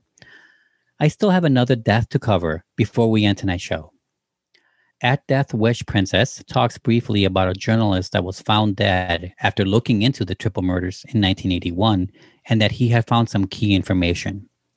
The circumstances around his apparent suicide the book he was working on, and the sources he was amassing is what makes this story too big for one show. Part two will cover the big and small players that I simply could not get into today, which is why this next segment will interest you, but also leave you wanting more. Let's get into it. Whatever the number of sources and publications that talks about the 1981 triple murders, there's at least double that amount for this journalist. His name was Joseph Daniel Casolaro. Everyone called him Danny or Daniel. And for this segment, amongst the articles written in the 90s and 2000s, I will use two opposing books as sources. One is called When Fiction Becomes Fact The Death of Danny Casolaro from June of this year. This came out this year. Second book is titled The Octopus Secret Government and the Death of Danny Casolaro from 96. And it's easy to tell which book believes in the conspiracy and which doesn't by the titles alone. All right, background on Danny Casolaro goes like this. Born in 1947, Danny came from a big Italian American Catholic family in McLean, Virginia. McLean rests in Northern Virginia in Fairfax County and is home to people from the military, diplomats, and government official, officials due to its close proximity to Washington, D.C. The Castellaros are not connected to DC in any way, but since Danny's father was a doctor, the family was stable but not rich. You know, like rich light, maybe. Rich light. Uh, I don't know why I say those things. Danny was was seen as gregarious, a womanizer, and enjoyed a drink in his hand. Hmm. It's safe to say that he frequented the bars of any town he visited. He married a former Miss Virginia named Terrell Pace, and they had a son together named Trey. After 10 years, they divorced, and, and Danny was granted legal custody over Trey. His career has peaks and valleys, but nothing long lasting or stable. He freelanced as a journalist for different publications here and there, usually political and world news pieces. But Danny also was an amateur boxer. He wrote poetry and short stories, and even wrote a novel titled The Ice King in 81, the year of our triple slings. Hmm. From the late 70s up to the end of the 80s, Danny Casolaro acquired a series of computer industry trade publications, which he sold. This last bit is useful because when he decided to take up journalism again in the early 90s, his entrance to this octopus conspiracy was of a computer software scandal with the US just uh, with the US Department of Justice. Very interesting there. Danny was in the middle of writing a book when he died. It was untitled, and most of the papers were held in his briefcase or an accordion file holder thing, you know, those things. It became almost like a characteristic, seeing Danny carrying his papers nearly everywhere with him. I'm not going to get into the details, but Danny was trying to find a publisher for his book. He needed the advance and or the resources that the backing of a publishing house could bring for him, but he was not successful. Three pitches, three meetings, and they turned him down. Everything that went into writing the book, travel, connections, paperwork, was self-funded. Sources do not say that the book led to his money troubles, but around the same time, Danny was talking to lawyers about needing to sell the house he lived or he'd lose it due to back taxes. Hmm. In the past, Danny's support system, his family, did help him with loans, but the house problem was too big to solve at the time of his death. Now, in the days leading to his death, Danny's friends and family were interviewed by a slew of people like local police, FBI, journalists, and others. There is a surprising amount of information of the days leading up to his death the day of, and the weeks afterward. It is as meticulous of a character study as a big conspiracy legend like he, Lee Harvey Os- Oswald. Said that weird. Lee Harvey Oswald. Okay. I'll give you guys some examples and highlights. I'm not going to tell you everything. Oh, that's another book entirely. Wow. Just on the day to day, everyone. They mentioned wow. a lot of names. I'm not going to get into all that.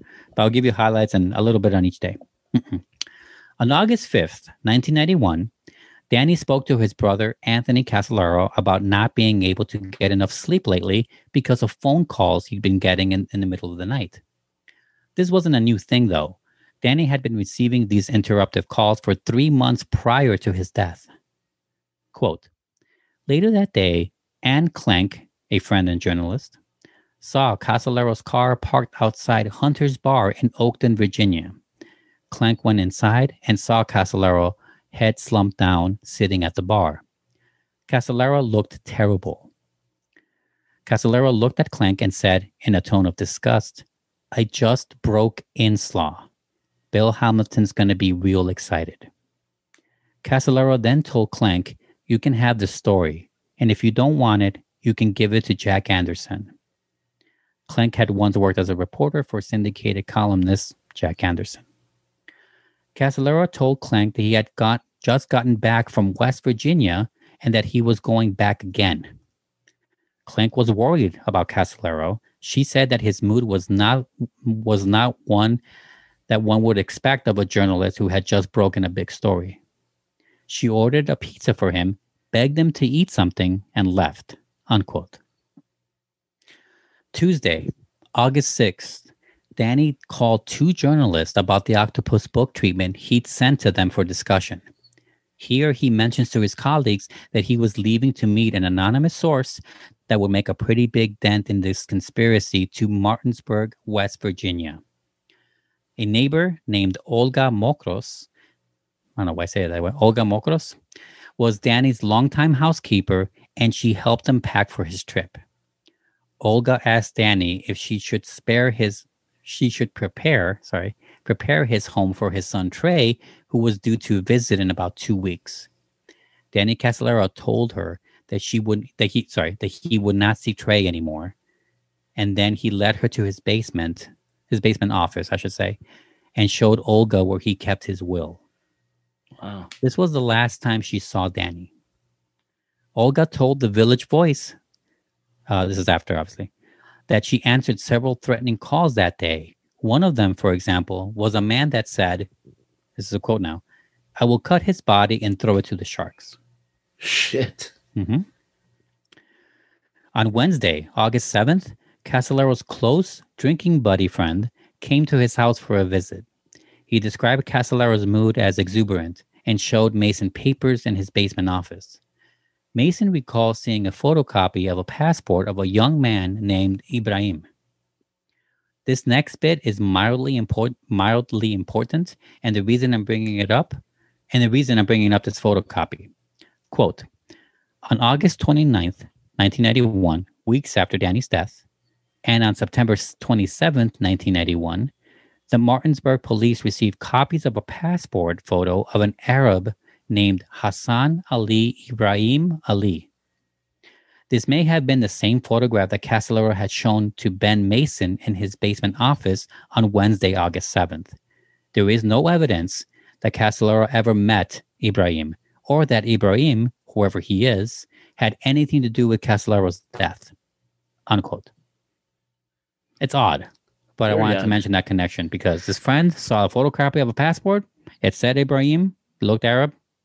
Cut to this time later, he recognizes it, you know, or it's recognized. Yeah. And that's such a personal document uh, mm-hmm. yeah, for someone exactly. to have a, a copy in of. his basement. Yeah. Yeah. Very weird. I don't have much on that right now, but it's odd. On Thursday, August 8th, Casolaro drove to Martinsburg, West Virginia, and checked into the Cher- Sheraton Inn just off of Interstate 81. Check in was between noon and 1 o'clock in the afternoon. He mentioned to the desk clerk that he was late for a meeting, so he'd have to open his room later, which is room 517. And the clerk did notice Danny carrying a beat up black or brown briefcase. He wasn't sure. Danny headed to the bar at the Stone Crab Inn and mentions to the bartender, Tom Hatches, whom he recognized the year previous working at the Sheraton Inn, that he's waiting to meet some Arabs. No one came. So at about 1.30, Danny asked for some change and went outside where a payphone was stationed, but no one saw or heard the call. From here, he goes to Pizza Hut and drinks considerably more than his food portions, which was a small pizza. Leaving at 4 p.m., Casolaro then heads to Hartsfield's Lounge, and the bartender recalls his, his order starting off as bottled beer, but switching to draft because it was cheaper. This should tell you a lot about his drinking. That's three different places he's drinking. Yeah. By the way. In the afternoon. Back to right. Just saying. Motherfucker drinks. Quote Hittrick, the bartender, did not see Casolaro talking with anyone else that night. However, the barmaid, Kim Waters, told a different story. The police originally met her by chance when they went to the home of one of the Sheraton desk clerks to interview him three days after Casolaro's death. She happened to be at, de- at the desk clerk's home. The police showed her Casolaro's photograph. She said she remembered seeing him at the bar but could not remember anything else. Later that day, she contacted the police, saying she had now remembered that Casolaro had arrived at the bar at about 5:10 p.m. and that he had sat at a table with another man whom she described as dark-skinned, like maybe Iranian or Arabian. Oh. Waters recalled that both men were drinking draft beer and that the Arabian man was drinking very fast and was very insistent that the barmaid serve him quickly. She claims to have served four beers each to Casolaro and the other man. She said the other man paid for all the beers in cash. Three days later, Waters helped the police prepare a composite drawing of this Arabian person. No one has been able to determine who this person is, was, if indeed there was such a person. Unquote. Man, wow. okay, so plot's definitely thickening here. Like cornstarch on on Sunday. I don't know. I got nothing. I don't know how to bake. I just realized I'm not good bake. Cornstarch on Sunday. Yeah. oh, okay. That last part, if indeed there was such a person, is the bias of the author coming out against any actual conspiracy, like in play. But I digress. Does the meeting with the Middle Eastern fellow at Hartfield's Hart Heather sorry Heatherfield's I said Hartfield's it's Heatherfield's Lounge be this Ibrahim or related to him in some way? I don't know. Friday, August 9th, is the last day Danny Kessler was seen alive. Danny told the front desk that he'd been staying an additional night. He wasn't originally going to stay an extra night. It was just supposed to be one night, but he asked hmm. for another. Here's where I got to tease you guys with something juicy, but snatching it back right after. Danny Casolaro had two prime sources, actually fountains of information for his octopus book. One of them was a man named Bill Hamilton, who was involved neck deep with the Inslaw scandal and the PROMIS software. And they had a strong friendship.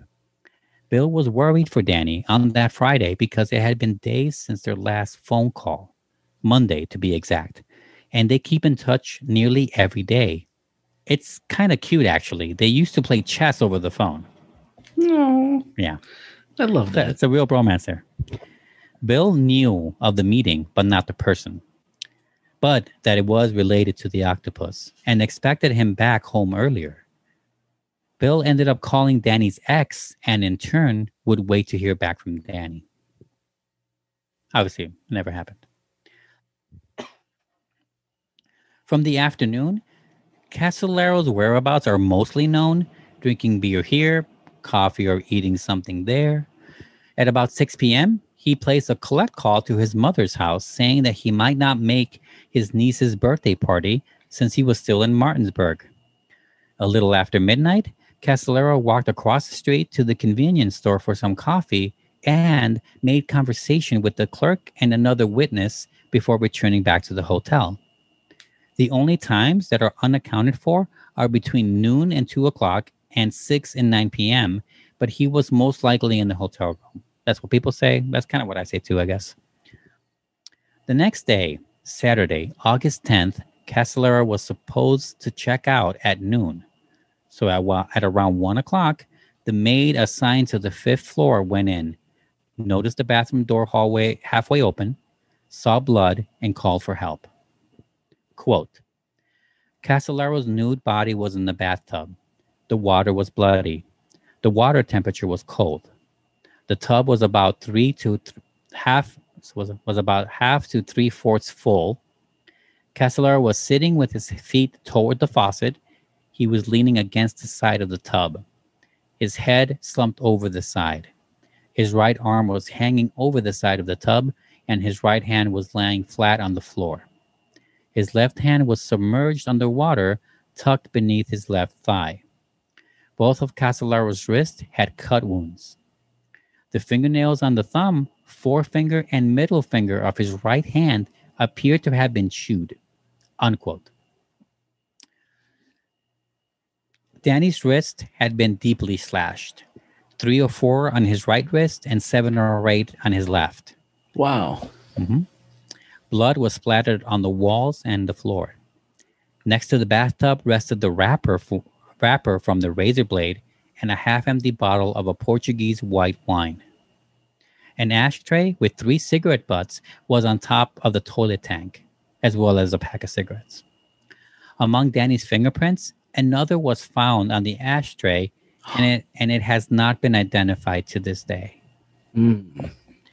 Unfortunately, beyond speculation, I have nothing else on this ashtray. There were no signs of a struggle or forced entry to the bathroom or hotel room. The rooms adjacent and across room 517 were full as part of one party of people in town for a soccer game. They heard nothing unusual throughout the night and they didn't leave their rooms till morning. His wallet and identification was found in the room. The police also found a large black tote bag which contained an empty bottle of Vicodin pills, one box of hefty trash bags with two bags missing from the roll, an unopened second bottle of the same white wine, one corkscrew, and three packs of cigarettes. I should note here that the Vicodin, empty bo- uh, bottle of Vicodin was the the last remnants of his um, subscription he had from a dental surgery he had the year previous. I see. They Okay. figured that out later. I didn't write that here. I don't know why. Lastly, illegal pad was found on the nightstand in, in room 517. A single page was torn from the pad and it read, To those who I love the most, please forgive me for the worst for the worst possible thing I could have done. Most of all, I'm sorry to my son. I know deep down inside that God will let me in. Oh man. That's sad. Yeah. Anything So you we want don't- to say? Yeah. Well, I mean, so if he killed himself, there's a couple reasons, I guess, right? One is sounds like he was in sort of financial ruin, hmm um, which is very embarrassing for a, an adult male, right? Yeah. Uh, it's bad place to find yourself. Very embarrassing. Uh, two, you know, he was onto this octopus thing. Did someone kill him and staged the scene? Um, or threatening him, threatening his family, you know, to Do point it or where he would else. kill himself, right? yeah, yeah, absolutely. Yeah. And then of course this um, this dark skinned fellow. You know, we don't know who he is and what happened to him. hmm The source, right? The source, yeah. There's, wow, there's a lot going on there. A lot going on here. You're right. Signs of suicide are apparent, and no one would think otherwise or anything else upon first hearing the details or walking into the bathroom, right? You'd think. This might be the best time to insert another clip. Have you heard of a show called Unsolved Mysteries? You know, I have. I love it. Yeah. I've only seen a few episodes, by the way. It's a TV show that started in 1987 and had 11 seasons with different celebrity hosts, not unlike Twilight Zone. Unsolved Mysteries has had a resurgence lately when Netflix renewed it on their platform. The show focused on real cases of perplexing disappearances, shocking murders, and paranormal encounters. Kind of like SOS, the TV show. You know, Oh, one could only dream. one could only dream, right? Can you imagine being a TV show host? I don't think I could do it. My hair, forget it. Um, on the makeup tone, no way. On March 10th, 1993, Unsolved Mysteries released their 24th episode of their fifth season, and one of the topics, the first one actually, was about Danny Casolaro. Let's hear a segment of it. It is edited for time and spoilers. Just a few days before Danny Casolaro died, he told friends that he was on the verge of breaking a huge story. Danny claimed to have proof that some officials in the U.S. Justice Department were corrupt. Many suspect that Danny's death was not a suicide. They believe that he was murdered because he was the man who knew too much. Pretty direct connections with some of the underworld crime figures, not only. Danny Casolaro stepped into a world that he didn't belong in. Uh, the type of people that he became involved with um, lie just as a matter of, of course. They lie, they cheat. There are people who've been involved in numerous murders, dealing drugs, dealing arms. And Danny Casolaro thought he could find his way through this labyrinth by himself. And that was a mistake.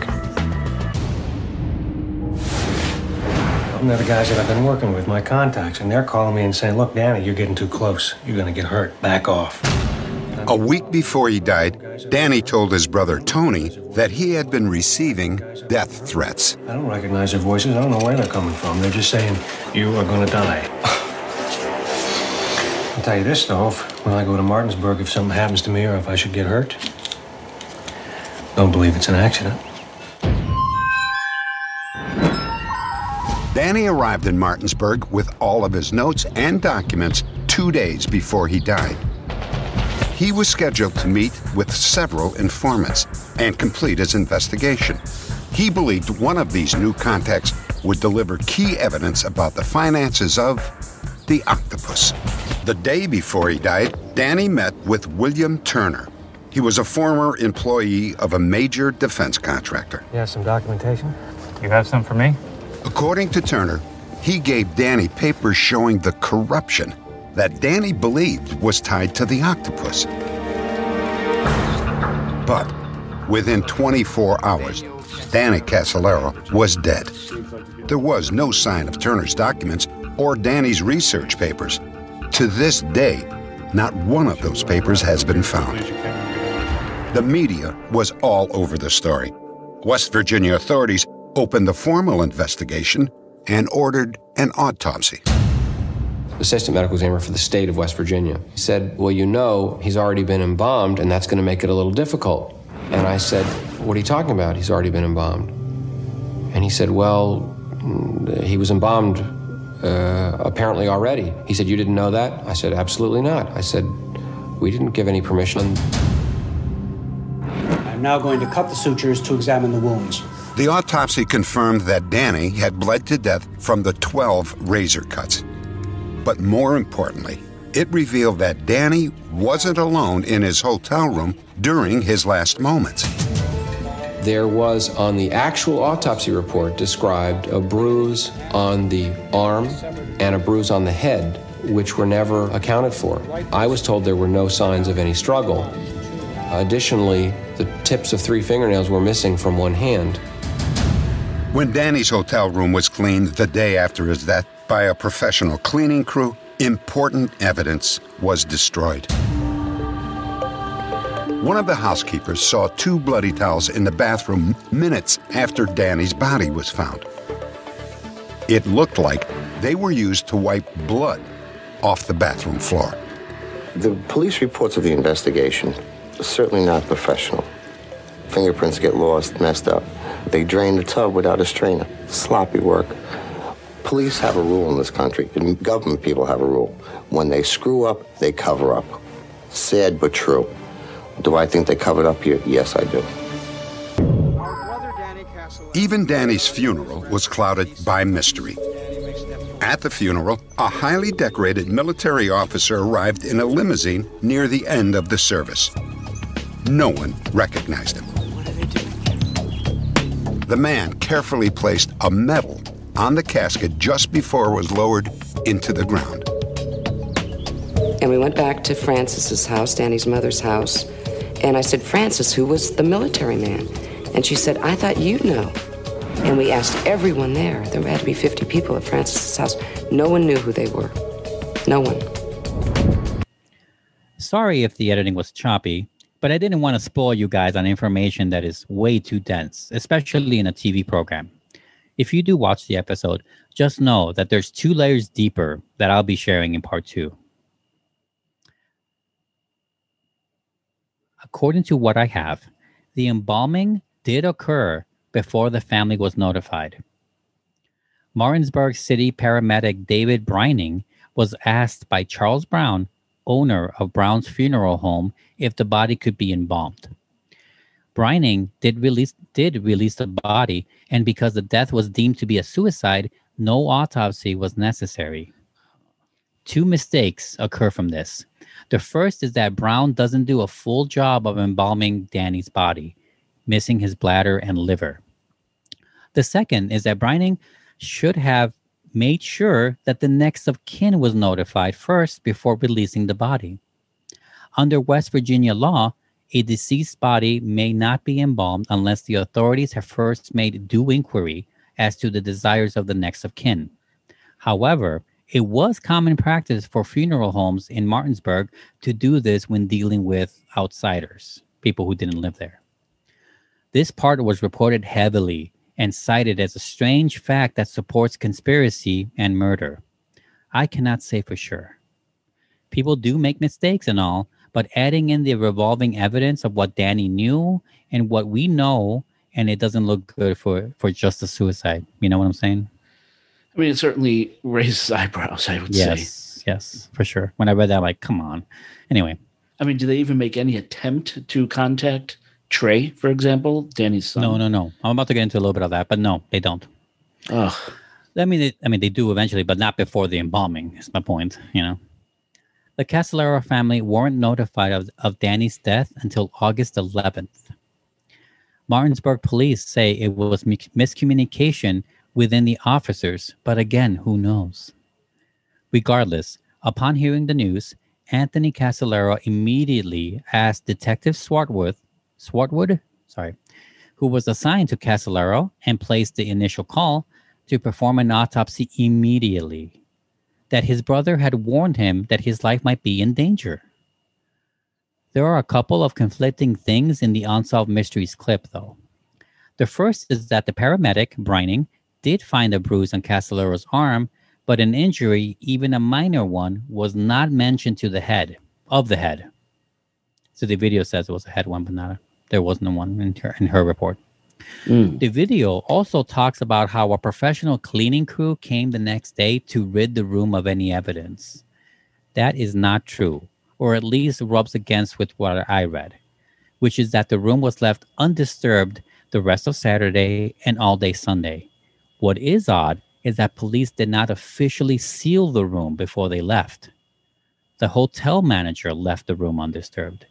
It was a civilian who kept the room undisturbed, not Wow. the authorities. Mm-hmm. Now, the bloody towels in the bathroom is interesting. Officials said that Danny, in a drunken stupor or and delirium from the loss of blood, saw the blood on the floor and wanted to clean it up, you know, to not make a mistake or a a mess. Sorry. I guess it is possible, but logically, it could mean that someone was there or came afterward and cleaned the bloody footprint they made in the bathroom. With the other mistakes Martinsburg police made, it is just as likely that evidence of struggle or suspicious activities were found in room 517, but the trampling done by authorities caused them to cover it up to avoid shame and repercussion. Hmm. There's a lot more to talk about, but we are nearing the end here. But what do you think of that so far? Why would they leave the room unsealed? Unsealed. Do they want someone to walk in there and, and screw the screw the crime scene? Well, it's obvious that they thought it was a simple suicide, but still, I don't know how that works with. I don't know how procedure works in that sense. But either way, they should probably keep away anyone that might come in. Right? It's still bloody and Absolutely. shed. Absolutely. Right. Uh, and then a bruise to the head. Yeah. So, um, right. So, the edit magic of editing. You didn't actually hear the clip. Uh, everyone else did, but in the clip in the unsolved mysteries, they say that um, two bruises were found on on Danny's body that the brother was not aware of. You know, they only, he was only aware of the slashes to his wrist, right? But Yeah. one bruise was on his arm, upper arm, and then the other supposedly his head. That's what the unsolved mysteries clip says. That is not true with what I read. The the paramedic Brining found the bruise on the arm, sure, but not the head. So I I'm see. giving you the differences, like where they embellish something. Okay. At least what I could find. The other one being the towels, maybe. Um, but I want to mention as much of the details as I can, at least the weird ones. And yeah, use towels, clean up a bloody footprint. Right. That that's, that was know, that was man. all my theory right there. But yeah, still that could be that. Wow. Yeah. Where am I? Fuck. Hold on. okay, here it is. Two more things that the clip talks about are Bill Turner and the military presence at Danny's funeral. The Bill Turner element is a cog in a bigger discussion, and I honestly don't know if he and Danny met on August 9th, 1991, as he said. Either way, his role in the octopus conspiracy is more than just a meeting. The fun thing about the military officer that no relative or friend of Danny's recognized is that I do not yet know what that's about. I'm still very much reading and discovering new things each day, but I'll try to get to the bottom of it for And part maybe two. it, maybe just one of his sources or something. Mhm. Could be, Huh. but we don't know why he had a whole general looking guy. You know, we don't kn- we don't know anything about him so far. I don't yet. Yeah. Yeah. One thing that I haven't mentioned, and this is uh, kind of important, and I'm surprised you haven't thought of it. Do you know what's missing from the hotel room? I don't. Keith. No, his work, his papers. Where's his briefcase? I mentioned Oh. everything that was found in the room. That was not one of them. Oh shit! There you go. I was hoping to see what you'd say about that. So, Sorry, I'm sleeping on the job. Yeah, because you mentioned how everyone always talked about how. Mm-hmm. Yep, that was like a a- characteristic. yes. Yes. His beat up brown or black Mm-hmm. briefcase, which was apparently seen at the was restaurants, Mhm. right? A Yep. bartender seen it and everything. Yeah, and it's he would keep it in his car sometimes when he drank, but they searched his car and they found nothing, nothing like that. Well, that says volumes right there. Mm-hmm. It's still missing, by the way. It's gone. Really? Mm-hmm. It's gone. It's connected to the octopus. Then I mean, there's the evidence right there. Yeah, I really wanted to save it to the very end. I'm at the last paragraph here, but yeah. Well, think uh, his his wallet was left there. that. Nothing Mhm. His was. keys were there too. That's why they found the car. And like everything looks fine in the car, but they didn't find no fucking briefcase. But the briefcase. Yeah. Wow. Well played. No accordion, no files, nothing. I like the way you set that up. Well played. Thank you. I want to put that in there for sure. So that's a big. That's one of the big conspiracy holdouts. Like, hey, what about the fucking papers? You know. Anyway. In the meantime, know that I am supremely confident that even a veteran skeptic of conspiracies will will raise their eyebrows when I'm done with all of this. The connections are too big to fail, easily researchable. What becomes complicated is discerning what is embellished and what isn't. What's complicated or too easy to connect. There is a lot of in- interesting scraps of information left on the ground floor for this show that could almost double the word count. With that, keep in mind that the next show will define a generation of lying, backstabbing, and killing, and all in the name of money, power, and disbelief. Join us, won't you, for the Octopus Conspiracy.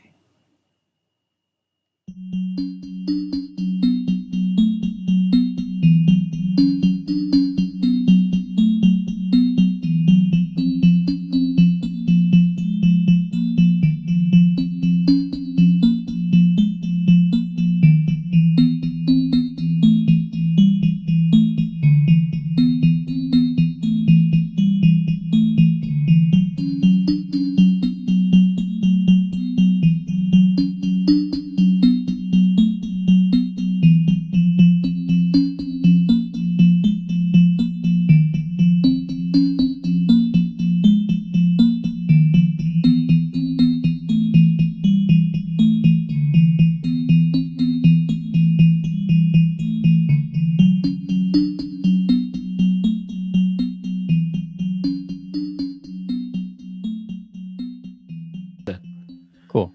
Because otherwise, this thing will be a hot box. Do you have a do you have windows in that room? Yeah, yeah. Well, obviously, the? AC Okay. is sticking out of a window, but uh, the windows. Oh, it's a window unit. Oh, I'm surprised Oh. I can't hear it. Right. That yeah. That's why I, I thought you thought I meant central air. No, no. It's Yeah. Not central air. I mean, if I put the thing. Yeah, I don't think I could hear it. Oh yeah, then now I could hear a little bit. Well, yeah, 'cause I And put even even at that point, it's just very faint. Oh, that's cool. I'm surprised. I'm I'm happier. I could keep it on. oh, I'm drinking something from the past. From the past. So uh, you know, I told you I've been listening to our previous episodes. One of them, uh, we talked about how. Well, there was a there was a, a bit of episodes there in a row where I would come to your house. This is before COVID, obviously. Um, and we record there, and you would obviously serve me some drink. Mhm. And one of them was UV Blue and Fanta. So guess what I got? No way. Mm-hmm. That episode reminded me. So I went to restock last week or week before. Um, I got the UV blue and a bunch of Nice. yeah. and I've been drinking it here and there. Cool. I So, don't yeah. have any. I don't have any UV blue. I have Mm. to get some. Yeah. Got to get some. Yeah, that that it's a Yeah, re-listening to our episodes has really helped me out here on some stuff. Cool. Like like what? I, I know some ideas that you were listing last time. Oh yeah, that, that I mean that's I guess that's what I mean. The UV blue is probably like a weird example compared to others, but all right. You want to do? I assume both back to back. This one in Patreon. Yeah. Ooh, or do you want to? Or do you want to? Okay. Well, do you want to see where we are after the main one? Yeah, Okay, that's fine. because we have until technically Wednesday, Mm-hmm. Right, for Patreon. Mm, Tuesday Tuesday. That's right. because we're not releasing on the first of the next month. We're releasing No. at the end of this one. Yeah. So if anything, tomorrow, I don't know what you're up to. Uh, just I mean I, I'm off. How many? Well, how many pages is this first episode here? Oh, 34. Oh shit! Holy shit! If I what? what? I don't know if I'll. It's already eleven, almost eleven thirty. I don't know if I could do because tomorrow is a work day. I do have beats also where like you might want to ask questions and shit or whatever. But um, yeah, 34, and honestly, it might be the shortest one if I make two more parts. So I, I think I'm gonna break 100 pages total. I was saying What? might break 100 pages. You have no idea what there is out there. So much stuff. Oh, that's something I'm going to have to mention. I'm going to have to work that in there somehow. That this topic overall might break a hundred page script. Right, it might, right. Okay. like part two again i mean i haven't just done this thing i mean i literally finished this part one last night and i think i'm gonna have to like wing the very end a little because i think i just wrote it that was like 5 a.m this is Oh my God, ago, dude. 5 a.m. right after like or 6 a.m. I don't remember anymore. I was like trying to like I need to go to sleep, but I can't wait till tomorrow because I'm recording right after work. So I'm like I'm writing it and I'm just put it's fucking ending whatever ended and I'm like thinking during work like I should probably figure out a juicier ending there. so All right, let's see. Let's see how this goes. Okay. All right. You ready for the countdown? You got the vapors. All right, you're good. I went. I reached over to my mouse to like press stop because I've been recording with Roth lately. I'm like, wait, I'm not stopping this. Oh no, we're still rolling. Right. I'm like, what the? What am I doing? Jesus, get a hold of yourself. Are you rusty Um, too? At the, at the, doing the SOS show, yeah. You know, one thing I realized with doing this, this particular octopus show um, is that I'm really bad at reading. it takes me Oh. so long to read. You, you mean read just script that you write, or read No, no, no. Read that you- sources. Read the sources. I Yeah. see. I see. Also, fascinatingly, I is the right word? Um, I ne- you know, I always kind of like I tend to for all of our previous shows. I think almost if not hundred percent, nearly hundred percent of all of our previous shows that I've ever done research for. I always start with Wikipedia and I go from there. You know, I find whatever they sourced and then go from there and then you go levels deep as you can. Yeah. This one opposite. I never even touched Wikipedia, only to find some background info on one town, like just Really? basic info on the on a county and a town. Never even looked at the Wikipedia. That's how much shit I didn't need it. I didn't Damn, need it that's at all. good. Yeah, That is wild, man. didn't even need it. I, that blew my mind like two days ago when I realized I'm like, like that's true. Shit. Because you're you're so right. I mean, usually ninety nine percent of the It's time, I- place to start. Yeah. it, it really is. It it gets kind of the juices flowing. It gives you real good high level information, and then, like you said, you branch out from there and go deeper and deeper. But Mm-hmm. uh, to not have to do that, that's great. Mhm. That's great. And I even realized you didn't have to do it yeah. because I started with the books. That's why, probably. Is it okay? Is it okay for me to mention? Oct- you know, I'll come up with something to say, but the octopus murders. Yeah, that's what it's called. I mean, you know me. I have a whole intro that intros it. You know, you know, I'm just Yeah. fucking dramatic about it. So there's a little flair in the beginning, not much at the end because, like I said, I wrote it very fast at the end of the night. But uh, otherwise, yeah. I really, uh, I should try to hit. I had this whole theory in my head about this whole thought process in my head of like showing how you know these people ain't no angels, including Danny Casolaro. He had problems, so I hope I did a good job of portraying the you know, he had problems and issues. It could be still be suicide. It could also very much not likely. It's like equal parts both. You know. Yeah. But Yeah. um, I th- I mean, I think anyone would lean towards most likely conspiracy. I mean, I can. My theory, honestly, on this is that, honestly, is that he was threatened, convincingly threatened, either in person or through the phone, to commit suicide to save his family. Save his probably his kid, let's say, and um, and then someone came in, checked to make sure it was done, cleaned the footprint, took the papers, and left. Hundred percent. That's had to happen. That's what happened.